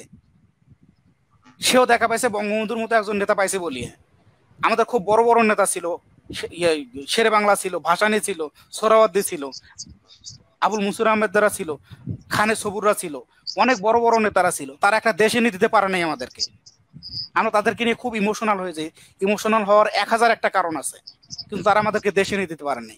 কিন্তু তাদের যে আন্দোলন, তাদের যে কাজ আমাদেরকে নোংরে ফেরায় নিয়েছে এক হাজার বছর পরে, এক হাজার বছর পরে প্রত্যক্ষভাবে অন্তত তিনশো বছরের তুমি উপনিবেশ পাইছো। সেই উপনিবেশের পর তুমি একটা দেশ পাইলে। দেশ পাইলে কি তোমার ব্যাংক নাই, তোমার প্রতিষ্ঠান নাই, তোমার আর্মি নাই, তোমার একটা মানে তোমার টাকা নাই, তোমার ব্রিজ নাই। তোমার রাস্তা নাই তোমার ফসল নাই একটা দেশ তুমি পাইলা। তিন চার বছর একটা দেশ স্বাধীন হওয়ার প্রথমটা ইয়ে দেয়, স্বাধীন হওয়ার পরে প্রথম যে টার্গেট সেটা কি থাকে? বঙ্গবন্ধুর সামনে তোমার অনেকগুলো টার্গেট ছিল। এখন পর্যন্ত বঙ্গবন্ধুকে তুমি নির্মোহ বিশ্লেষণ করো। বলো যে দ্যাট গভর্নমেন্ট ওয়াজ সেদিনও কার কার যেন একটা ইয়ে পড়লাম একটা অ্যানালিসিস পড়লাম যে একে খন্দকারের কিংবা শফিউল্লাহর এরকম পড়ছে আর কি। মোর অললেস গভর্নমেন্ট ওয়াজ সাকসেসফুল একটা নতুন সরকারের, নতুন দেশের সরকারের টার্গেট কি থাকে? ওই দেশের একটা রিকগনিশন বঙ্গবন্ধু থাকতে থাকতে বাংলাদেশ জাতিসংঘের সদস্য হয়েছে, একশোর বেশি দেশের রিকগনিশন পাইছে। মোটামুটি এস্টাবলিশমেন্ট খারাইছে এস্টাবলিশমেন্ট বলতে বাংলাদেশের প্রশাসন। সে বাংলাদেশের প্রশাসন নিয়ে কি মানে কাদেরকে নিয়ে প্রশাসন দাঁড়াইছে? তোমার তো যদি একটু খেয়াল করে থাকো, এই প্রশাসনের বেশিরভাগ লোক ছিল যারা পাকিস্তান আমলে তো বটে। মুক্তিযুদ্ধের সময়ে যারা পাকিস্তানকে সমর্থন করছে, তাদেরকে নিয়ে প্রশাসন চালাইতে হয়েছে হ্যাঁ ঠিক আছে। বাধ্য বাধ্য হয়। তোমার ব্যাংক নাই তোমার টাকা নাই তোমার খাবার নাই তোমার ভিক্ষে করে নিয়ে আসিয়ে ইন্ডিয়া থেকে ওখান থেকে ওখান থেকে চা চিনতে নিয়ে এসে তোমার দেশ চালান লাগতেছে। এত বড়টা সেরা বেড়া একটা অবস্থার মধ্যে তুমি লেখলা ভাব দে হারাম যাতা তোমার মানচিত্র ছিঁড়ে খাব। তুমি কি তোমার এই এক হাজার বছরের আন্দোলন এত কষ্ট করে পাওয়া স্বাধীনতা এত কষ্ট করে পাওয়া দেশটাকে তুমি কি আন্ডারমাইন করলা কি করলা না। তুমি যদি এত বড় কবি- হয়ে এত সামান্য একটা বুঝতে না পারো যে তুমি তোমার দেশকে ছোট করছ যে দোষ দেশ যে আন্দোলন যে স্বাধীনতা সংগ্রামটাকে সারা বিশ্ব উপরে তুলে ধরে রাখছে তো তোমার কেন উপরে তুলে ধরে রাখবে? কোন কারণ আছে? তোমার পশ্চিমবঙ্গ আসাম তোমার তোমার ইন্ডিয়ান বললাম তো, এটা আমাদের কাছে অনেক ফেবুলাস একটা কবিতা, অনেক বিখ্যাত একটা কবিতা, আমরা এখনও বলি। এখনও বলি, তার একটা কারণ আমি খুঁজে পাই, সেটা হলো বঙ্গবন্ধু সরকারকে যত রকম ভাবে আন্ডারমাইন করা যায়, সে আন্ডারমাইন করার একটা উপযুক্ত পদ্ধতি হলো এই কবিতাটা, যে দে হারাম যাতে তোমার মানচিত্র ছিল খাব। তার মানে হলো তোমার মানচিত্র, তোমার দেশ এর চাতে পাকিস্তান ভালো ছিল। এই কথা আমি বলতে শুনছি, নিজের কারণে অনেককে বলতে শুনছি। ঠিক আছে? তুমি যদি এইটুকু না বোঝো যে তুমি একটা স্বাধীন দেশের মানে কি যে দেশকে যে স্বাধীনতাকে তুমি পশ্চিমবঙ্গে যাও, বর্ডারটা পার হলে বলব যে গ্রেট জব তোমরা একটা দেশ পাইছো। বাঙালি বাঙালি এক হাজার বছর পর একটা দেশ পাইছে। যেখানে তারা অন্য দেশের সঙ্গে সেই দেশকে তুমি যদি আন্ডারমাইন করো, তোমাকে কে আপদ তুলে দেবে তোমাকে আপল করবে আপল কেউ করবে না। তো আমাদের কবিতা আমি বলি যে, আমাদের আমাদের দোলনকাল সম্বন্ধে আমি সেদিন একটা কথা বলতেছিলাম যে আমাদের বেশিরভাগ কবিতা দুই তিনটা কমন একটা ফর্ম আছে। যদিও দশকে দশকে আমরা বলি যে ইয়ে হচ্ছে সত্তর দশকের কবিতা বেশিরভাগগুলো হলো স্লোগানমূলক কবিতা, ঠিক আছে? স্বাধীনতা পাইলাম, হতাশা, তীব্র হতাশা তীব্র হতাশা, স্বাধীনতা পাই আমরা মনে করছি যে স্বাধীনতা যেদিন পাইছি, সেদিন আমার গাছে গাছে পাকা ফল থাকবে, ঘরে ঘরে মানে ইয়ে ওই যে কি জানি বলা যায় পুকুর ভরা মাছ থাকবে, একে স্বাধীনতা পাওয়ার পরের দিনে। ঠিক আছে? রাস্তাঘাট সব এইট লেন থাকবে, সরকার থাকবে একেবারে ফুল ফর্ম আর্মি থাকবে ফুল সেট ঠিক আছে? আমি চাবো মানে ওই যে বেহেস্তে তুমি তুমি যেমন আমরা আশা করি যে চাবো মাত্র মুখের মধ্যে এরকম রান্না করা খাবার চলে আসবে। আমরা বোধহয় স্বাধীনতা পাওয়ার আগে এটা আশা করছিলাম, স্বাধীন দেশে পাওয়ার সাথে সাথে আমাদের সবগুলো মুখের মধ্যে চলে আসবে। আমি জানি না হাউ ওয়াজ দ্য ড্রিম কিন্তু এই ড্রিম যারা করছে, তারা খুব হতাশ হয়েছে এবং হতাশবাদী কবিতা লিখছে। আশির দশকে খুব পলিটিক্যাল লেখা হয়েছে। পার্টিকুলারলি এরশাদ সাহেব যখন কবিতা সম্মেলনের আয়োজন করছে, আন্তর্জাতিক কবিতা সম্মেলন, এই ফয়েজ ভাইদের সহযোগিতা তারপরে আমাদের যে জাতীয় কবিতা মঞ্চ হয়েছে এবং প্রায় সব কবিরা তার বিরুদ্ধে যা দাঁড়াইছে, সব বুদ্ধিজীবীরা, আওয়ামী বুদ্ধিজীবীরা সব বিরুদ্ধে যা দাঁড়াইছে, তখন যে ইয়েটা হয়েছে, মজাটা হয়েছে না। এই মজাগুলো তোমার একটু দেখা দরকার। এরা মানে সবার ভাষ্যে আমি পলিটিক্যালি এর মধ্যে যাইতেছি না। খুব খারাপ কাজ করছে। আমি যতদূর বুঝি কারণটা ছিল যে ফজল শাহাবুদ্দিন যে কাজটা করছে, এরা তারা করতে পারেনি। এনিওয়ে কথা ছিল না সেটা কথা না। তো এই কারণে গুলো হয়েছে কি, তুমি তোমার দেশকে আন্ডারমাইন করতেছো, তোমার সরকারকে আন্ডারমাইন করছ তুমি জনগণের পালস তো যা খারাপ করার করেই ফেলছে বা হয়েছে কিন্তু আমরা মনে হয় ওই জায়গাটা পৌঁছতে পারিনি, যেটাতে মনে হয় অন্য দেশের মানুষরা ওটাকে টাচ করা পারে নাই। যেটা আমাদের পঞ্চাশ ষাটের দিকে দর্শকের যেটা হয়েছে, এবং বাংলাদেশে আমাদের আল মাহমুদের হাতে তো বড় বড়, এই বহা নেই কেমন? আমাদের আল মাহমুদের হাতে তো ওই কবিতা তৈরি হয়েছে না? সে বিখ্যাত কবিতারা তাই না? স্বাধীনতা অনেক ভালো ভালো কবিতা লেখা হয়েছে। আমি বলি না যে লেখা হয়নি, অনেক ভালো ভালো কবিতা লেখা হয়েছে, কিন্তু দুর্বলতার জায়গাগুলো ওই। যে আমি হয় যেমন নব্বই দশকের কবিতা সম্বন্ধে প্রায় ওই কথাটা বলা হয়, যে আশির দশকের স্লোগান মুখর কবিতা থেকে তুমি যখন নব্বই দশকে গেছো, একটা বিমূর্ত ভাবনা নিয়ে চলে আসছে। খুশি আর্ট ফর আর্ট সেক শিল্পিত ভাবনার কবিতা। আমার মনে হয় শূন্য দশকে এটা খুব চলে। ঠিক আছে? চলে। হ্যাঁ হ্যাঁ ঠিক আছে। আমাদের শূন্য দশকের কবিতার মধ্যে একটা বৈশিষ্ট্য হলো তোমার সত্তর আশি নব্বই দশকে যে কবিতা লেখা হয়েছে এই কবিতাগুলোর মধ্যে একটা মানে মানে গুলায় ফেলছি আমরা। গুলায় ফেলে শূন্য দশকের কবিতা লেখা শুরু হয়েছে ঠিক আছে? এর মধ্যে আর্ট ফর আর্ট সেক আছে তোমার স্লোগান আছে তোমার বিরোধী দলগুলো আমাদের অপদার্থ বিরোধী দলগুলো যে করতে পারতেছে না, আমাদের কবিরা দায়িত্ব নিচ্ছে সেই অপদার্থ বিরোধী দলের মানে প্রক্সি দেওয়ার জন্য। সে প্রক্সি দিচ্ছে। আবার তাদের মানে তারা লিভলেট লিখতে পারতেছে না, তাদের পোস্টার লিখতে পারতেছে না, আমাদের কবিতা কবিতা, কবিরা তাদের পোস্টার তাদের লিভলেট লিখে দিচ্ছে লিফলেটের ভাষা লিখে দিচ্ছে। তো এর ফলে হয়ে যাচ্ছে কি আবার এই যে সব এটা সবসময় চলে আসছে। আগে রাজা মহারাজাদের যে রাজকবিরা ছিল তারা রাজাকে খুশি করার জন্য চার লাইনের কবিতা শোনাই দিত, রাজাকে মানে গুণগান করিয়ে। তারপরে মধ্যযুগে যেটা হয়েছে, মধ্যযুগের কবিরা দেব দেবীকে মাথায় তুলে, চাঙ্গে তুলে নিয়ে যা কবিতা লিখছে। তাই না? এমনকি আর এখন শুরু হয়েছে ওই রকম শুরু হয়েছে আর কি। এর ফলে হয় কি, তুমি ডিপ থটের ডিপ থটের যেটা সবার জন্য মিন করতে পারে, যেমন সারা পৃথিবীতে সব সময় কিছু কিছু মানুষ মার্জিনাল মার্জিনাল পিপল সব জায়গাতে আছে। আমরা বাংলাদেশে থেকে সংখ্যাগরিষ্ঠরা মুসলমানরা বুঝতে পারি না। আমাদের মার্জিনাল কমিউনিটি আমাদের হিন্দু কমিউনিটি আমাদের বৌদ্ধ কমিউনিটি খ্রিস্টান কমিউনিটি কীরকম রিপ্রেশনে থাকে? আমার প্র্যাকটিক্যাল অভিজ্ঞতা বলি। নেপালে আমি ছিলাম, তুমি জানো। কাজের সূত্রে সেখানে একজন হিন্দু ভদ্রলোক যিনি একটা বড় পোস্ট হোল্ড করেন জয়েন্ট সেক্রেটারি লেভেলের অফিসার আমরা প্রচুর জয়েন্ট সেক্রেটারি প্রচুর হিন্দু বা মার্জিনাল কমিউনিটির সেক্রেটারি পয়দা করছি। তারা আমাদের আছে, প্রশাসনে প্রচুর পরিমাণে আছে। কিন্তু এইবার অভিজ্ঞতাটা শোনো, তাকে নেপাল একটা হিন্দু প্রধান দেশ, একজন হিন্দু ভদ্রলোক গেছে সবতি তাদের রিলিজিয়াস অ্যাফিনিটি আছে। ওই জায়গা থেকে বলছে, ভাইয়া, দেশে আপনারা কীরকম ফিল করেন? এবার এই ভদ্রলোকের কি বলা উচিত? বলা হয়েছে, আমি একজন জয়েন্ট সেক্রেটারি আমার গাড়ি আছে, আমার বাড়ি আছে, সরকারে বাড়ি দিছে, প্রচুর টাকা ইনকাম করি আই এম ডুইং ওয়েল এরকম কি বলা উচিত? উনি বলছে যে, আমরা খুব ভয়ে থাকি। এই ভয়টা গত পঞ্চাশ বছরে বাংলাদেশের পঞ্চাশ বছর হচ্ছে। আমরা ভয়টাকে মুছে দিতে পেরেছি? পারি নাই। আমরা সারা দিন এখানে চিৎকার পারি ইন্ডিয়াতে কেন মুসলমানদেরকে মারা হচ্ছে? ইন্ডিয়াতে কেন ইসলামোফোবিয়া হচ্ছে?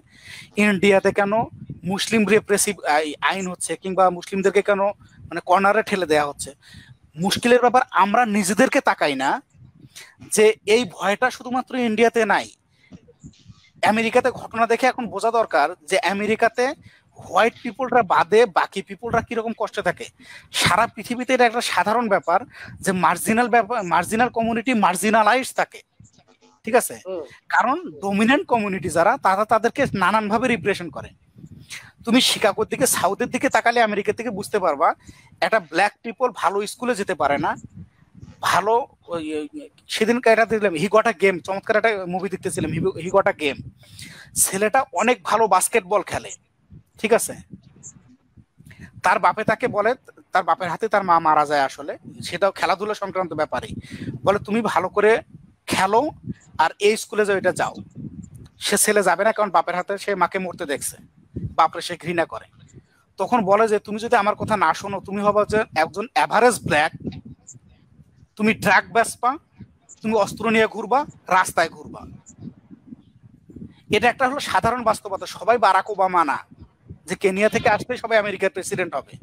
আচ্ছা আমি আমি একটু তোমার এই যে আমাদের তুমি একটা দারুণ বিষয় উঠাইছিলে ইস্যু আর কি। ইস্যুটা হচ্ছে যে আমাদের এখানে যারা সংখ্যালঘু আছে হুম, সারা পৃথিবীতে সংখ্যালঘু আছে।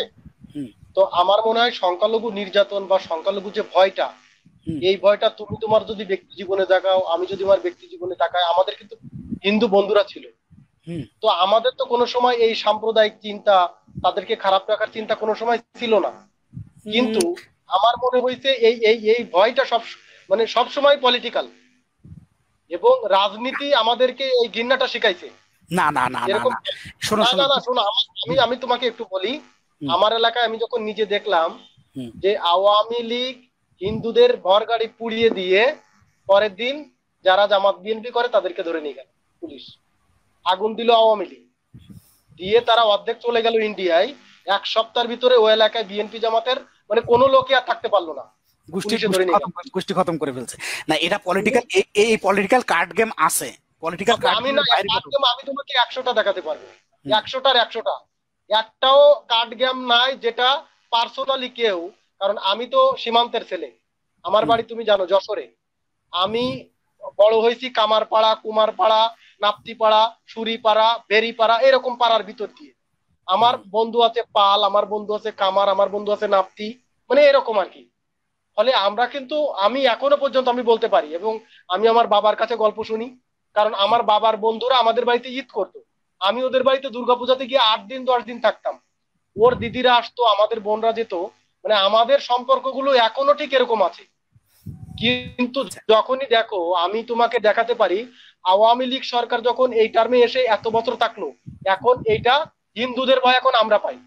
এটা আমি তোমারে বাই রেকর্ড অফ বলছি। বুঝছ? এখন মনে করো এটা তুমি কি করবা? তুমি এটা কি বলবা যে এটা পলিটিক্যাল নয়? এরকম। তৈরি হয়েছে এখন। দুটা আছে। শোনো পলিটিক্যাল গেম তো আছে। এই গেমটা কিন্তু ইন্ডিয়াতে বিজেপিও খেলতেছে। ঠিক আছে বিজেপিও খেলতেছে। সবসময় সরকাররা দলগুলো দলগুলো মনে করে যে যেটা তাদের জন্য নির্বাচনের জন্য সুবিধা হবে সেটা তারা করে। আমাদের গাইবান্ধা কিন্তু তুমি এখন গাইবান্ধা কিন্তু ওই গোবিন্দগঞ্জে সাঁওতালপাড়া পুরাই দেওয়া ছাড়া সাধারণ তুমি সাম্প্রদায়িক কোনো খবর গাইবান্ধা থেকে পাবা না। শুধু সাম্প্রদায়িক না। তুমি তুমি গাইবান্ধাতে ওই রকম রাজনৈতিক মারামারি হত্যাকাণ্ড ওই রকম তুমি পাবা না। কিন্তু বাস্তবতার কথা আমি বলি একদম প্র্যাকটিক্যাল লাইফ থেকে ঠিক আছে? এটার মধ্যে কোনো পলিটিক্যাল কার্ড গেম নাই। যারা বিদেশে যায়, যারা দেশ ছেড়ে যায়, সবাই তো এরকম না সাম্প্রদায়িক কারণে যায়। এরকম আমার এক ইন্ডিয়াতে আমার আমার একজন শিক্ষক তিনি মারা গেছেন, আল্লাহ তাকে ব্যস্ত নসিব করুক। ওনার এক ছেলে, এক মেয়ে ইন্ডিয়াতে গেছে। এক ছেলে, এক মেয়ে বাংলাদেশে আছে। তো ঢাকাতে বাড়িতে আসলো, সেই ছেলে বেড়াইতে, কারণ ওর বড় মেয়ে, আমার, আমরা একসঙ্গে পড়াশোনা করছি। ঠিক আছে? বড় মেয়ে একসঙ্গে পড়াশোনা করছে, ছোট ভাই বললাম, ছোট ভাই, তোমার ওদিকের খবর বলো, কি অবস্থা? কেমনে কি? শুনতে টুনতে চাইলাম। এক পর্যায়ে যে সে আমাকে গল্প বলতেছে যে ক্লাসের মধ্যে ওনাকে, ওকে আন্ডারমাইন করা হচ্ছিল। সে যে বাংলাদেশ থেকে চলে এসছে। তো বলল যে তুমি কি বললা? বললাম যে ক্লাসের মধ্যেই বলে দিলাম যে, শোনো, তোমরা যখন আমেরিকায় যাও, তোমরা যখন লন্ডনে যাও, কানাডায় যাও, সেটা দোষের নয়। আমি ইন্ডিয়াতে আসলে সমস্যা, সমস্যাটার কি আছে? যে কোনো কেউ যে কোনো কেউ ভালো থাকার জন্য যে কোথাও যেতেই পারে। ঠিক আছে? এমন নয় যে আমাদের সব সংখ্যালঘু ভাই ব্রাদার ইন্ডিয়াতে গেছে বা সব মুসলিম যে দেশেই আছে তা না। এই যে যেদিন ছাব্বিশ জন লিবিয়ায় গিয়ে মারা গেল বাংলাদেশি আমি জানি না তাদের কেউ হিন্দু ছিল কিনা কিন্তু প্রচুর তো মুসলিম ছিলও ছিল। তারা তো দেশের বাইরে গিয়ে মারা গেছে। দেশের বাইরে নিশ্চয়ই যাবে। কাজের খোঁজে যায় জীবন যখন যখন যখন কঠিন কিন্তু অন্য একটা ইয়ে বলি যে তার মানে কিন্তু এই না যে রিপ্রেশন হচ্ছে না সোশ্যাল রিপ্রেশন একটা বড় রিপ্রেশন দুইটা হ্যাঁ। ব্যাপার বলি ভয় কি করে কাটে না? তুমি তুমি তোমাদের পাড়ায় তোমাদের এলাকায় আমি জানি হিন্দু মুসলমান মারা- মারামারি বা ঝগড়া হলে কি হয়? সব সময় দেখবা যে হিন্দু ফ্যামিলিটা চুপ করে যায়। কোনো একটা ইয়েটিয়া হলে চুপ করে যায়। তারা সেই সাহসটা পায় না। আর একটা বলি, একদম প্র্যাকটিক্যাল অভিজ্ঞতা থেকে বলি, আমার পাশের তোমার যেমন ওই যে হিন্দু পাড়ায় বন্ধু বান্ধব আছে, আমারও কিন্তু আছে। এই গত কয়েকদিন আগে গিয়ে আমার মানে হিন্দু, আমরা দাদা বলি, তাদের বাড়িতে গিয়ে আমি খেয়েও আসছি, ঠিক আছে? উই হ্যাভ দ্যাট রিলেশন কিন্তু কথা শুনে কথা হলো আমার পাশের বাড়া পাশের বাড়িতে যে হিন্দু পাড়াটা, অর্ধেকটা এখন নাই। গেলাম কি? সেদিন গেলাম, ওই বাড়িটা এখন মুসলমান বাড়ি, ওই বাড়িটা এখন মুসলমান বাড়ি। সেদিন কথা বলতেছিলাম, অমুক কই কয়, অমুক তো ইন্ডিয়ায় গেছে। ঘটনা কি? তারা থাকতে পারতেছে না। তাদের পেশাগত সমস্যা। আমার, আমি প্র্যাকটিক্যালি দেখছি, হিন্দু পাড়ায় একটা ঘর ছিল, বেচারা মাছ বেছে খায়। ওনার ঘরে সারাদিন আমাদের এই পাড়ার কয়েকজন মুসলমান ছেলে, ইয়ে- ইয়ে বুড়ো বুড়ো ভদ্রলোক যা তাস খেলে। ওই ফ্যামিলি বলতেও পারতেছে না। বলতেও পারতেছে না, তোমরা যাও। কারণ এক তারা মার্জিনালাইজ কমিটি দুই হলো তারা দরিদ্র। হয়তো একটু ইয়ে থাকলে আর একটু হোল্ড থাকলে বলতে পারতো। কিন্তু এই যে ইয়ার, তুমি বাইরে কথা বলতে পারতেছো না। তুমি বাইরে, তোমার ঘরের মধ্যে এসে ইয়ে করতেছে, তোমার ঘর ঠেলে দিচ্ছে, তোমার আল ঠেলে দিচ্ছে, জমি আজকে দখল হইতেছে। এমন না যে মুসলমানদের জমি দখল হইতেছে না। সেদিন আমি পড়লাম একটা জায়গাতে যে বিচারপতি আবু সাইদ চৌধুরীর বাড়ি পর্যন্ত দখল হয়ে গেছিল এবং সেটা দখল করছিল কাদের সিদ্দিকের ভাই মাওলানা ওই হজ নিয়ে কথা বলে বিখ্যাত মন্ত্রী হয়েছে লতিফ সিদ্দিকি। বিচারপতি আবু সাইদ চৌধুরী যিনি বাংলাদেশের রাষ্ট্রপতি ছিলেন তার বাড়ি যদি দখল হতে পারে যে কোনো কারও বাড়ি দখল হতে পারে। ঠিক আছে? কিন্তু হ্যাঁ হ্যাঁ এবং এই ঘটনাটাও প্রচুর হচ্ছে হয়ও। কিন্তু মার্জিনালাইজ কমিউনিটির বিরুদ্ধে ভয়ভীতি দেখানো প্রায়ই বলা যে তুই এখানে কি করিস কেন? তুই ইন্ডিয়া যাস না কেন? এটা তো জায়গা না।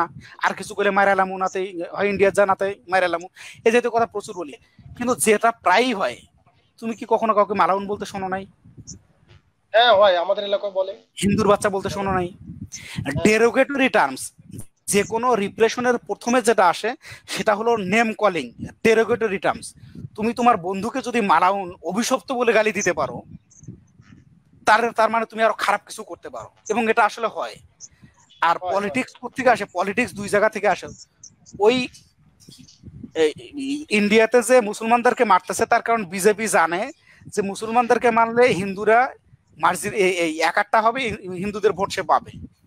এই পলিটিক্যাল কার্ড গেম এখন যে এই যে এমনকি ধরো ফ্লয়েডকে মারা হয়েছে সেটাও ট্রাম্প অন্য একটা টান্স হচ্ছে ইয়ার স্ট্যান্স নিচ্ছে বলতেছে ওরা সন্ত্রাসী হ্যাঁ তার কারণ হলো সে মনে করে যে ওদেরকে যদি তুমি মার্জিনালাইজ করো বাকিদের ভোট যারা ডোমিনেন্ট ফোর্স তাদের ভোট তুমি পাবা। ঠিক আছে? কিংবা একটা দলকে যদি তুমি একত্রিত করতে পারো, তাহলে তুমি একটা এই সুবিধা তুমি পাবা। এই দিক থেকে পলিটিক্যাল পার্টিগুলো খেলে, কিন্তু পলিটিক্যাল পার্টির দোষ সবগুলো দিলে চলে না রে। আমরা যে সোসাইটিতে থাকি পলিটিক্যাল পার্টিটা যদি বুঝতে পারে সুবিধাটা পাবে, সুবিধাটা কোথেকে পাবে? সোসাইটি থেকে আমি দেব। আমি যদি তাকে সুবিধাটা দিই, তাহলে না তার সুবিধাটা পায়। না মানে আমি আমি পলিটিক্যাল এই অর্থে বললাম, আমি কিন্তু দেখছি আমার এলাকার কিছু হিন্দু বন্ধু বান্ধবরা তাদের বাড়ি ছেড়ে চলে গেছে। তারা কলকাতা চলে গেছে, তারা ইন্ডিয়াতে চলে গেছে। তো কি জন্য গেল?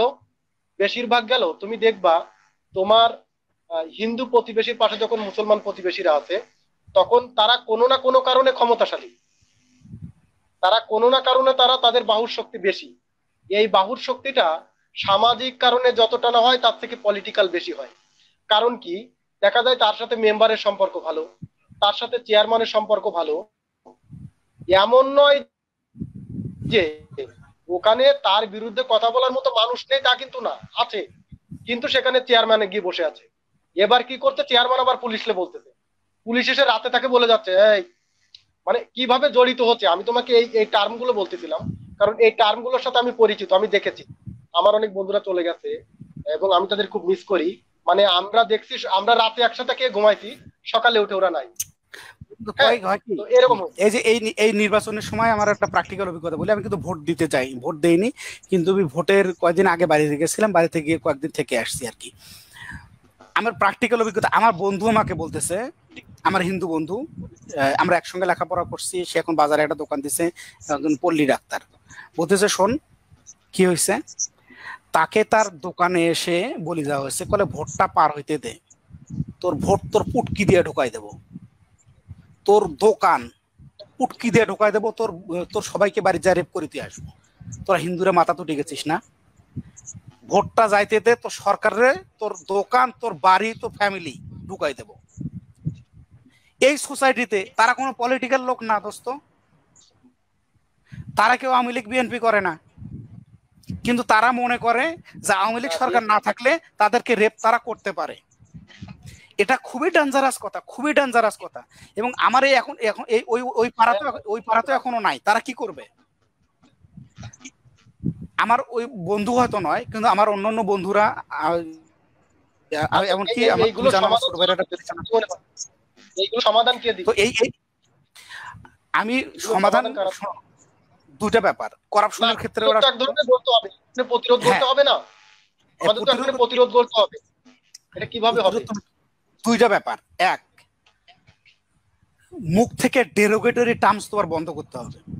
এটা কিন্তু রুয়ান্ডাতে হয়েছে। এটা আমেরিকাতেও এখন আছে। আমি দু হাজার তেরো সালের দিকে কথাটা শুনছি।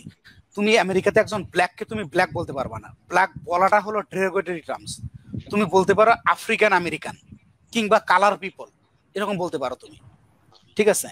কিংবা, যেমন আমরা ছোটবেলা থেকে পড়া শুনছি। এটা আমাদেরকে পত্রিকা পড়া মুশকিলের ব্যাপার হলো আমাদের যে এখন তো যে ইয়ে, নীতিশাস্ত্র ধর্ম আর কি জানি নৈতিক শাস্ত্র নৈতিক শাস্ত্র আলাদা হয়েছে।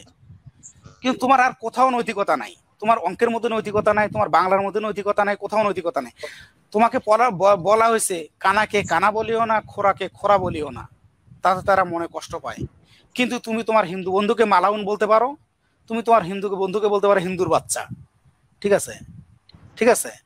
কিংবা কিংবা তুমি তার তাদের মন্দিরের সামনে যা তুমি গরু জবাই দিতে পারো তাদেরকে বলতে পারো তুই গরু খাবি নাকি? এগুলো হলো বেসিক তোমার সোসাইটি থেকে তুমি যদি না জানো যে তোমার বন্ধু কিসে কষ্ট পায় তাহলে তাহলে তুমি সেই বন্ধু থেকে তুমি ইয়ে- ইয়ে তার তার ইয়ার কষ্টটা দূর করতে পারবে না ভয়টা দূর করতে পারবে না। ঠিক আছে? এটা দিয়ে শুরু হয়। আমরা আমরা মনে হয় এগুলোর বিষয়ে একটু সতর্ক হতে পারি সচেতন হতে পারি যে আমি না জেনে আমার বন্ধুকে কোনো কষ্ট দিচ্ছি না তো। আমার বন্ধুকে বা প্রতিবেশীকে কোনো কষ্ট দিচ্ছি না তো? বা আমার কারণে, আমার কোনো আচরণের কারণে তার কোনো ভয় পাচ্ছে না তো? এটা ক্রিয়েট না করি। কিন্তু আর একটা ব্যাপার হলো যে পলিটিক্যাল ফোর্স সবসময় ভ্যালুয়েবল আমরা বলি নেতারা চোর, কারণ আমরা চোর। আমলারা চোর, কারণ আমরা চোর। কিন্তু এটাও ঠিক, এই সমাজকে কারেকশনের দায়িত্ব পলিটিক্যাল নেতৃত্বের। ঠিক আছে? তারা সবসময় পলিটিক্যাল মানে পপুলিস্ট পপুলিস্ট পলিটিক্স করবে, তা তো হইতে পারে না। সে জানে সে এই এই নির্বাচন, নির্বাচনের সময়, নির্বাচনের আগে আগে যদি বাস ভাড়া না কমায়, যদি কিছু প্রতিশ্রুতি না দেয়, সে নির্বাচনে জিতবে না। কিন্তু এও ঠিক এই করাপশন বন্ধ করার দায়িত্ব বা রাস্তায় যে অনৈতিক ইয়েগুলো হয়, সেগুলো বন্ধ করার দায়িত্ব সরকারেরই। তাদেরকে সেটা করতে হবে, তাই না? আমার মনে হয় ডেরোগেটরি টার্মস কিংবা মার্জিনাল কমিউনিটির বিরুদ্ধে তো বটেই। ধরো, এই যে এখন এখন তো বৌদের উপর অত্যাচার অনেক কমছে। তারপরে আমরা বলি যে সিরিয়া নিউজ এগুলো কেন হয়েছে? কারণ হলো তোমার ল অ্যান্ড অর্ডারে অনেক কিছু মানে ব্যবস্থা নেওয়া হয়েছে, সরকার ব্যবস্থা নিয়েছে। তুমি বউকে মারলে কিংবা যৌতুকের দাবি করলে তোমার যে শাস্তি টাস্তি হবে। হ্যাঁ এই ধরনের এমন কিছু ব্যবস্থা নেওয়া দরকার যে রিপ্রেসিভ কিংবা ভয় দেখানো কিংবা ডেরোগেটরি টার্মস ব্যবহারের কারণে মনে হয় শাস্তি টাস্তির ব্যবস্থা নেওয়া উচিত। অন্তত নাম কাউ আসতে হলেও এটার একটা ইম্প্যাক্ট সোসাইটির উপর পড়ে। আমরা মনে হয় কারেক্টিভ মেজার্সের দিকে, একটা বেটার সোসাইটির দিকে আমরা আগায় যেতে পারব। তার সাথে তো নিজেদের সতর্ক হওয়ার দরকার আছেই। তাই না? সমাজের যারা নেতা হুম, সমাজের যারা ইন্ডিভিজুয়াল প্রত্যেককে এটা সতর্ক হওয়ার দরকার আছে। ভালো ভালো ভালো বিষয় মানে শেষে হলেও আমরা শেষের দিকে আসলেও খুব ভালো কিছু বিষয়ে কথা বললাম। ভালো দারুণ একটা বিষয় হলো। আসলে এটাই যে আমি আমার ব্যবহার দ্বারা কেউ ভয় পাচ্ছে না তো? আমার আমার আচরণ দ্বারা কেউ কষ্ট পাবে না তো? এই কিন্তু মেন ব্যাপার মেন এটা এটা খুব বড় ব্যাপার খুব বড় ব্যাপার। ধরো ধরো আমার ওই প্রতিবেশীর বাড়ি ইয়ে, হিন্দু প্রতিবেশীর বাড়িতে যে বুড়ে বুড়ে লোকেরা এ, তা ইয়াং ছেলেপেলেদেরকে নিয়ে তারা তাস খেলতো সেখানে তারা নেশা করতো। তারা কি তাদের বাড়িতে করতে পারতো না? অন্য বাড়িতে করতে পারতো না? ওখানে যা না কারও করতে হইল। ওখানে যা করতে হলো হ্যাঁ প্রথম হলো তাদেরকে ভয় দেখানো যে এখানে করতে পারলে তোরা কিন্তু কিছু বলতে পারবি না। ঠিক আছে? এবং তাদেরকে ভয় দেখানো হলো তারা তো কষ্ট পাইলো। আমি কিন্তু কোনোটা দিকে কোনো কেয়ার করলাম না। কিংবা হ্যাঁ, কিংবা আমার মনে হয় যে আমার আমার বন্ধুকে যে বলছে যে ভোটের পরের দিন তোরে আমি তোর গোয়া দিয়ে দোকান ঢুকাই দেবো তোর বাড়িতে যা রেপ করে আসব। আমি জানি না হোয়েদার হি ওয়াজ সিরিয়াস কিন্তু যখন সে এই কথাটা বলছে আমার বন্ধু যে খুব সিরিয়াসলি নিছে কারণ সে খুব মনোকষ্ট নিয়ে আমার কাছে বলছে। আমার কাছে বলতে পারছে তার কারণ সে জানে যে রেজাকে বললে রেজা এটা আবার ইয়ে, আর দশজন রে বলে রেপ করানোর ব্যবস্থা করবেন। তাই না? আমাকে বলছে কিন্তু আমার কাছে কিন্তু বলতে পারার কথা না বলতে পারার কথা কোথায়? ওই ইন্ডিয়াতে যখন যাবে বা নেপালে যখন যাবে যখন জিজ্ঞাসা করবে তাই না? যখন জিজ্ঞাসা করবে তোমার দেশে তুমি কেমন আছো? তখন তারা বলবে যে তোমার তো- ওরা তো এরকম করে বলে। এই এইটা যখন হ্যাঁ এটা খুব ভালো শোনায় না। এটা খুব ভালো শোনায় না। আমরা যত যাই বলি এটা খুব খারাপ শোনায়। দৃশ্য তো আমাদের সম্বন্ধে আমরা যে কত মানে কি মানুষ তারা একটা ইমেজ বোধহয় এরকম করে দাঁড়ায় যায়। না তা ঠিক। মানে আমরা হচ্ছে দু ঘণ্টা পেরিয়ে গেলাম। আমরা লাস্টের দিকে গুরুত্বপূর্ণ কিছু বিষয় চলে আসতে হবে। ভালো লাগছে আমার। মানে আড্ডা তো, আসলে আড্ডা তো অনেক বিষয় আসতে পারে। কিন্তু খুব আমরা মানে শিল্প সাহিত্যের মুখ থেকে এসে একটা সমাজে, সামাজিক, পারিবারিক, রাজনৈতিক যে একটা মুডে ঢুকে আমি কিন্তু খুব গুরুত্বপূর্ণ কথা হয়েছে।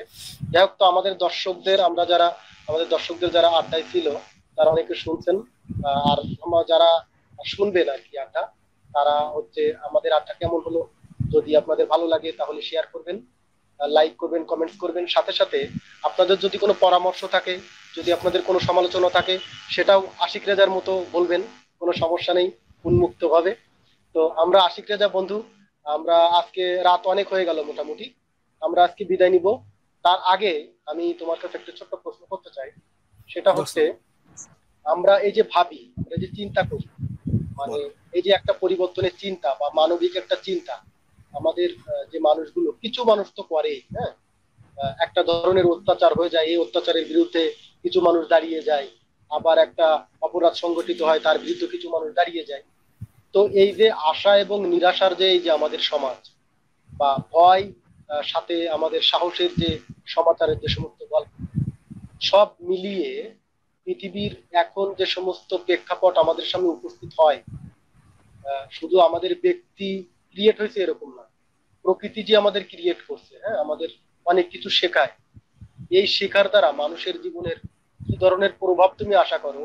যেরকম আমি আজকে আজকে একজন আমাকে বলল, একজন ডাক্তার, যে আপনি দেখেন মানুষের ভিতর ভীতি আছে যে হ্যাঁ করোনা করোনা ভীতি আছে, কিন্তু বাইরে গিয়ে দেখো প্রচুর মানুষ, ভয় নেই। মানে আতঙ্ক আছে। কিন্তু জীবন নিয়ে এদের কোনো ডোন্ট কেয়ার এই যে ভাবে মানে মানুষের ভিতর এই যে কাজটা করতেছে এটা খুব খারাপ, এটাই সবচেয়ে খারাপ। ও বলতেছে হ্যাঁ খুব আতঙ্কের জিনিস। কিন্তু নিজের রাস্তায় বেরোয় মানুষের সাথে আড্ডা দিয়ে বেড়াচ্ছে। এই ব্যাপারটা এই যে সাইকোলজিক্যাল ব্যাপারটা মানুষের, এইগুলো নিয়ে আসলে আমাদের কি কি পর্যবেক্ষণ তোমার? এই সাইকোলজিক্যাল ব্যাপার? জীবন খুব খুব খুব কমপ্লেক্স একটা বিষয়, বুঝছ? খুব কমপ্লেক্স একটা বিষয়। সেদিন জন্য বলতেছিলাম, এই কথাটা আবার বলি। আমাদের মহান মুক্তিযুদ্ধের সময় ঢাকা শহরেও তো মারা গেছে সারা দেশে অনেক মানুষ মারা গেছে অনেক ঘটনা ঘটছে গোলাগুলি হয়েছে পোড়াপুরি হয়েছে। তোমার কি মনে হয় না তার মধ্যে বিয়ে হয়েছে? বা কারও কারও বাচ্চা হয়েছে? তাই না? তার সামাজিক অনুষ্ঠান হয়েছে? হয়েছে। এই ঢাকা এই এই ঢাকা শহরে প্রচুর কাজ হয়েছে। তো এত যুদ্ধ হয় হ্যাঁ। জীবন মূল ব্যাপারটা হলো জীবন থেমে থাকে না জীবন থেমে থাকে না। আমরা হয়তো সিচুয়েশনের মধ্য দিয়ে যাই আমরা সিচুয়েশনের মধ্য দিয়ে জীবনকে চালানোর জন্য কিছু কিছু বিষয়ে অ্যাডাপ্ট করি। আবার ধরো খুব কঠিন কঠিন বিষয়। এই আমাদের ফ্যামিলি যখন খুব কাছের কেউ মারা যায়, মারা তো নিশ্চয়ই যায়, তাই না? মারা যায় খুব আহ, আমরা খুব প্রিয়জনকেই হারাই। তার মানে তো এই না যে আমাদের জীবন থেমে থাকে। আমি হয়তো সকালবেলা মারা যাব আমার বাচ্চারা এখনও ছোট আছে। তার মানে তো না যে তাদের জীবনও থেমে থাকবে তাদের কষ্ট হবে তারা নিচে নতুন একটা সিচুয়েশন অ্যাডাপ্ট করবে। আমরা ভয় পাই আমরা কষ্ট পাই কিন্তু আমরা জীবনের ধর্মেই জীবন আগায়া যায়।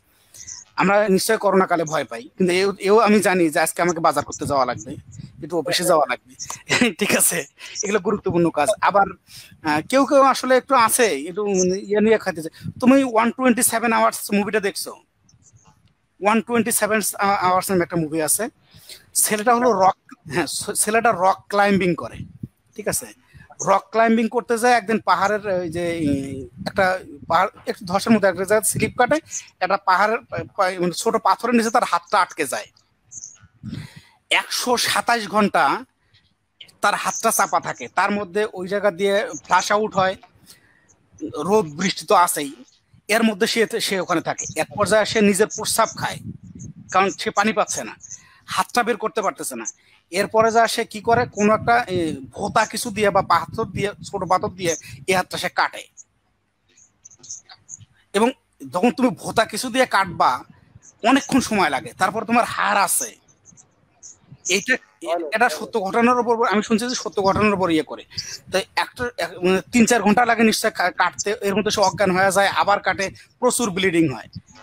এরপরে সে কোনো কর্মে সে যখন কাটা শেষ করতে পারে, এটা চেপ- ধরে কাছাকাছি কোথাও একটা জনবসতির খোঁজে দৌড়ে যায় আর কি। যদি দুই একজন মানুষকে পায় সেখানে সে অজ্ঞান হয়ে যায় বলে আমাকে একটু বাঁচাও সে বেঁচে যায়। কথা হলো সে এই নয় যে তারপরও সে ওই পাহাড়ে যাওয়া থামায়।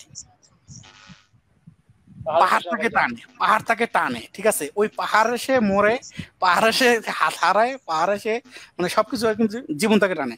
কিংবা আমাদের একজন অভিযাত্রী হিমালয় পর্বতে এখনও আটকে আছেন তার লাশ পাওয়া যায়নি। ঠিক আছে? খালেদ নামে একজন ইয়া এখনও হিমালয় পর্বতে বরফের নিচে চাপা পড়ে আছেন। হাজার হাজার পর্বতারোহী। এখন কিদারনিরা বলতেছে যে পুরো হিমালয় পর্বতটা ভাগার হয়ে আছে মৃতদেহ দিয়ে। এত প্রচুর মৃতদেহ। এখন বরফ গলতেছে, প্রতি বছর হাজার হাজার মৃতদেহ বের হয়ে আসতেছে। ঠিক আছে? এই জায়গার যাইতেও ওই যে হিলারি যখন এভারেস্ট জয় করে আসেন, ওনাকে জিজ্ঞাসা করা হয়েছিল যে, আপনি ওখানে গেছিলেন কেন?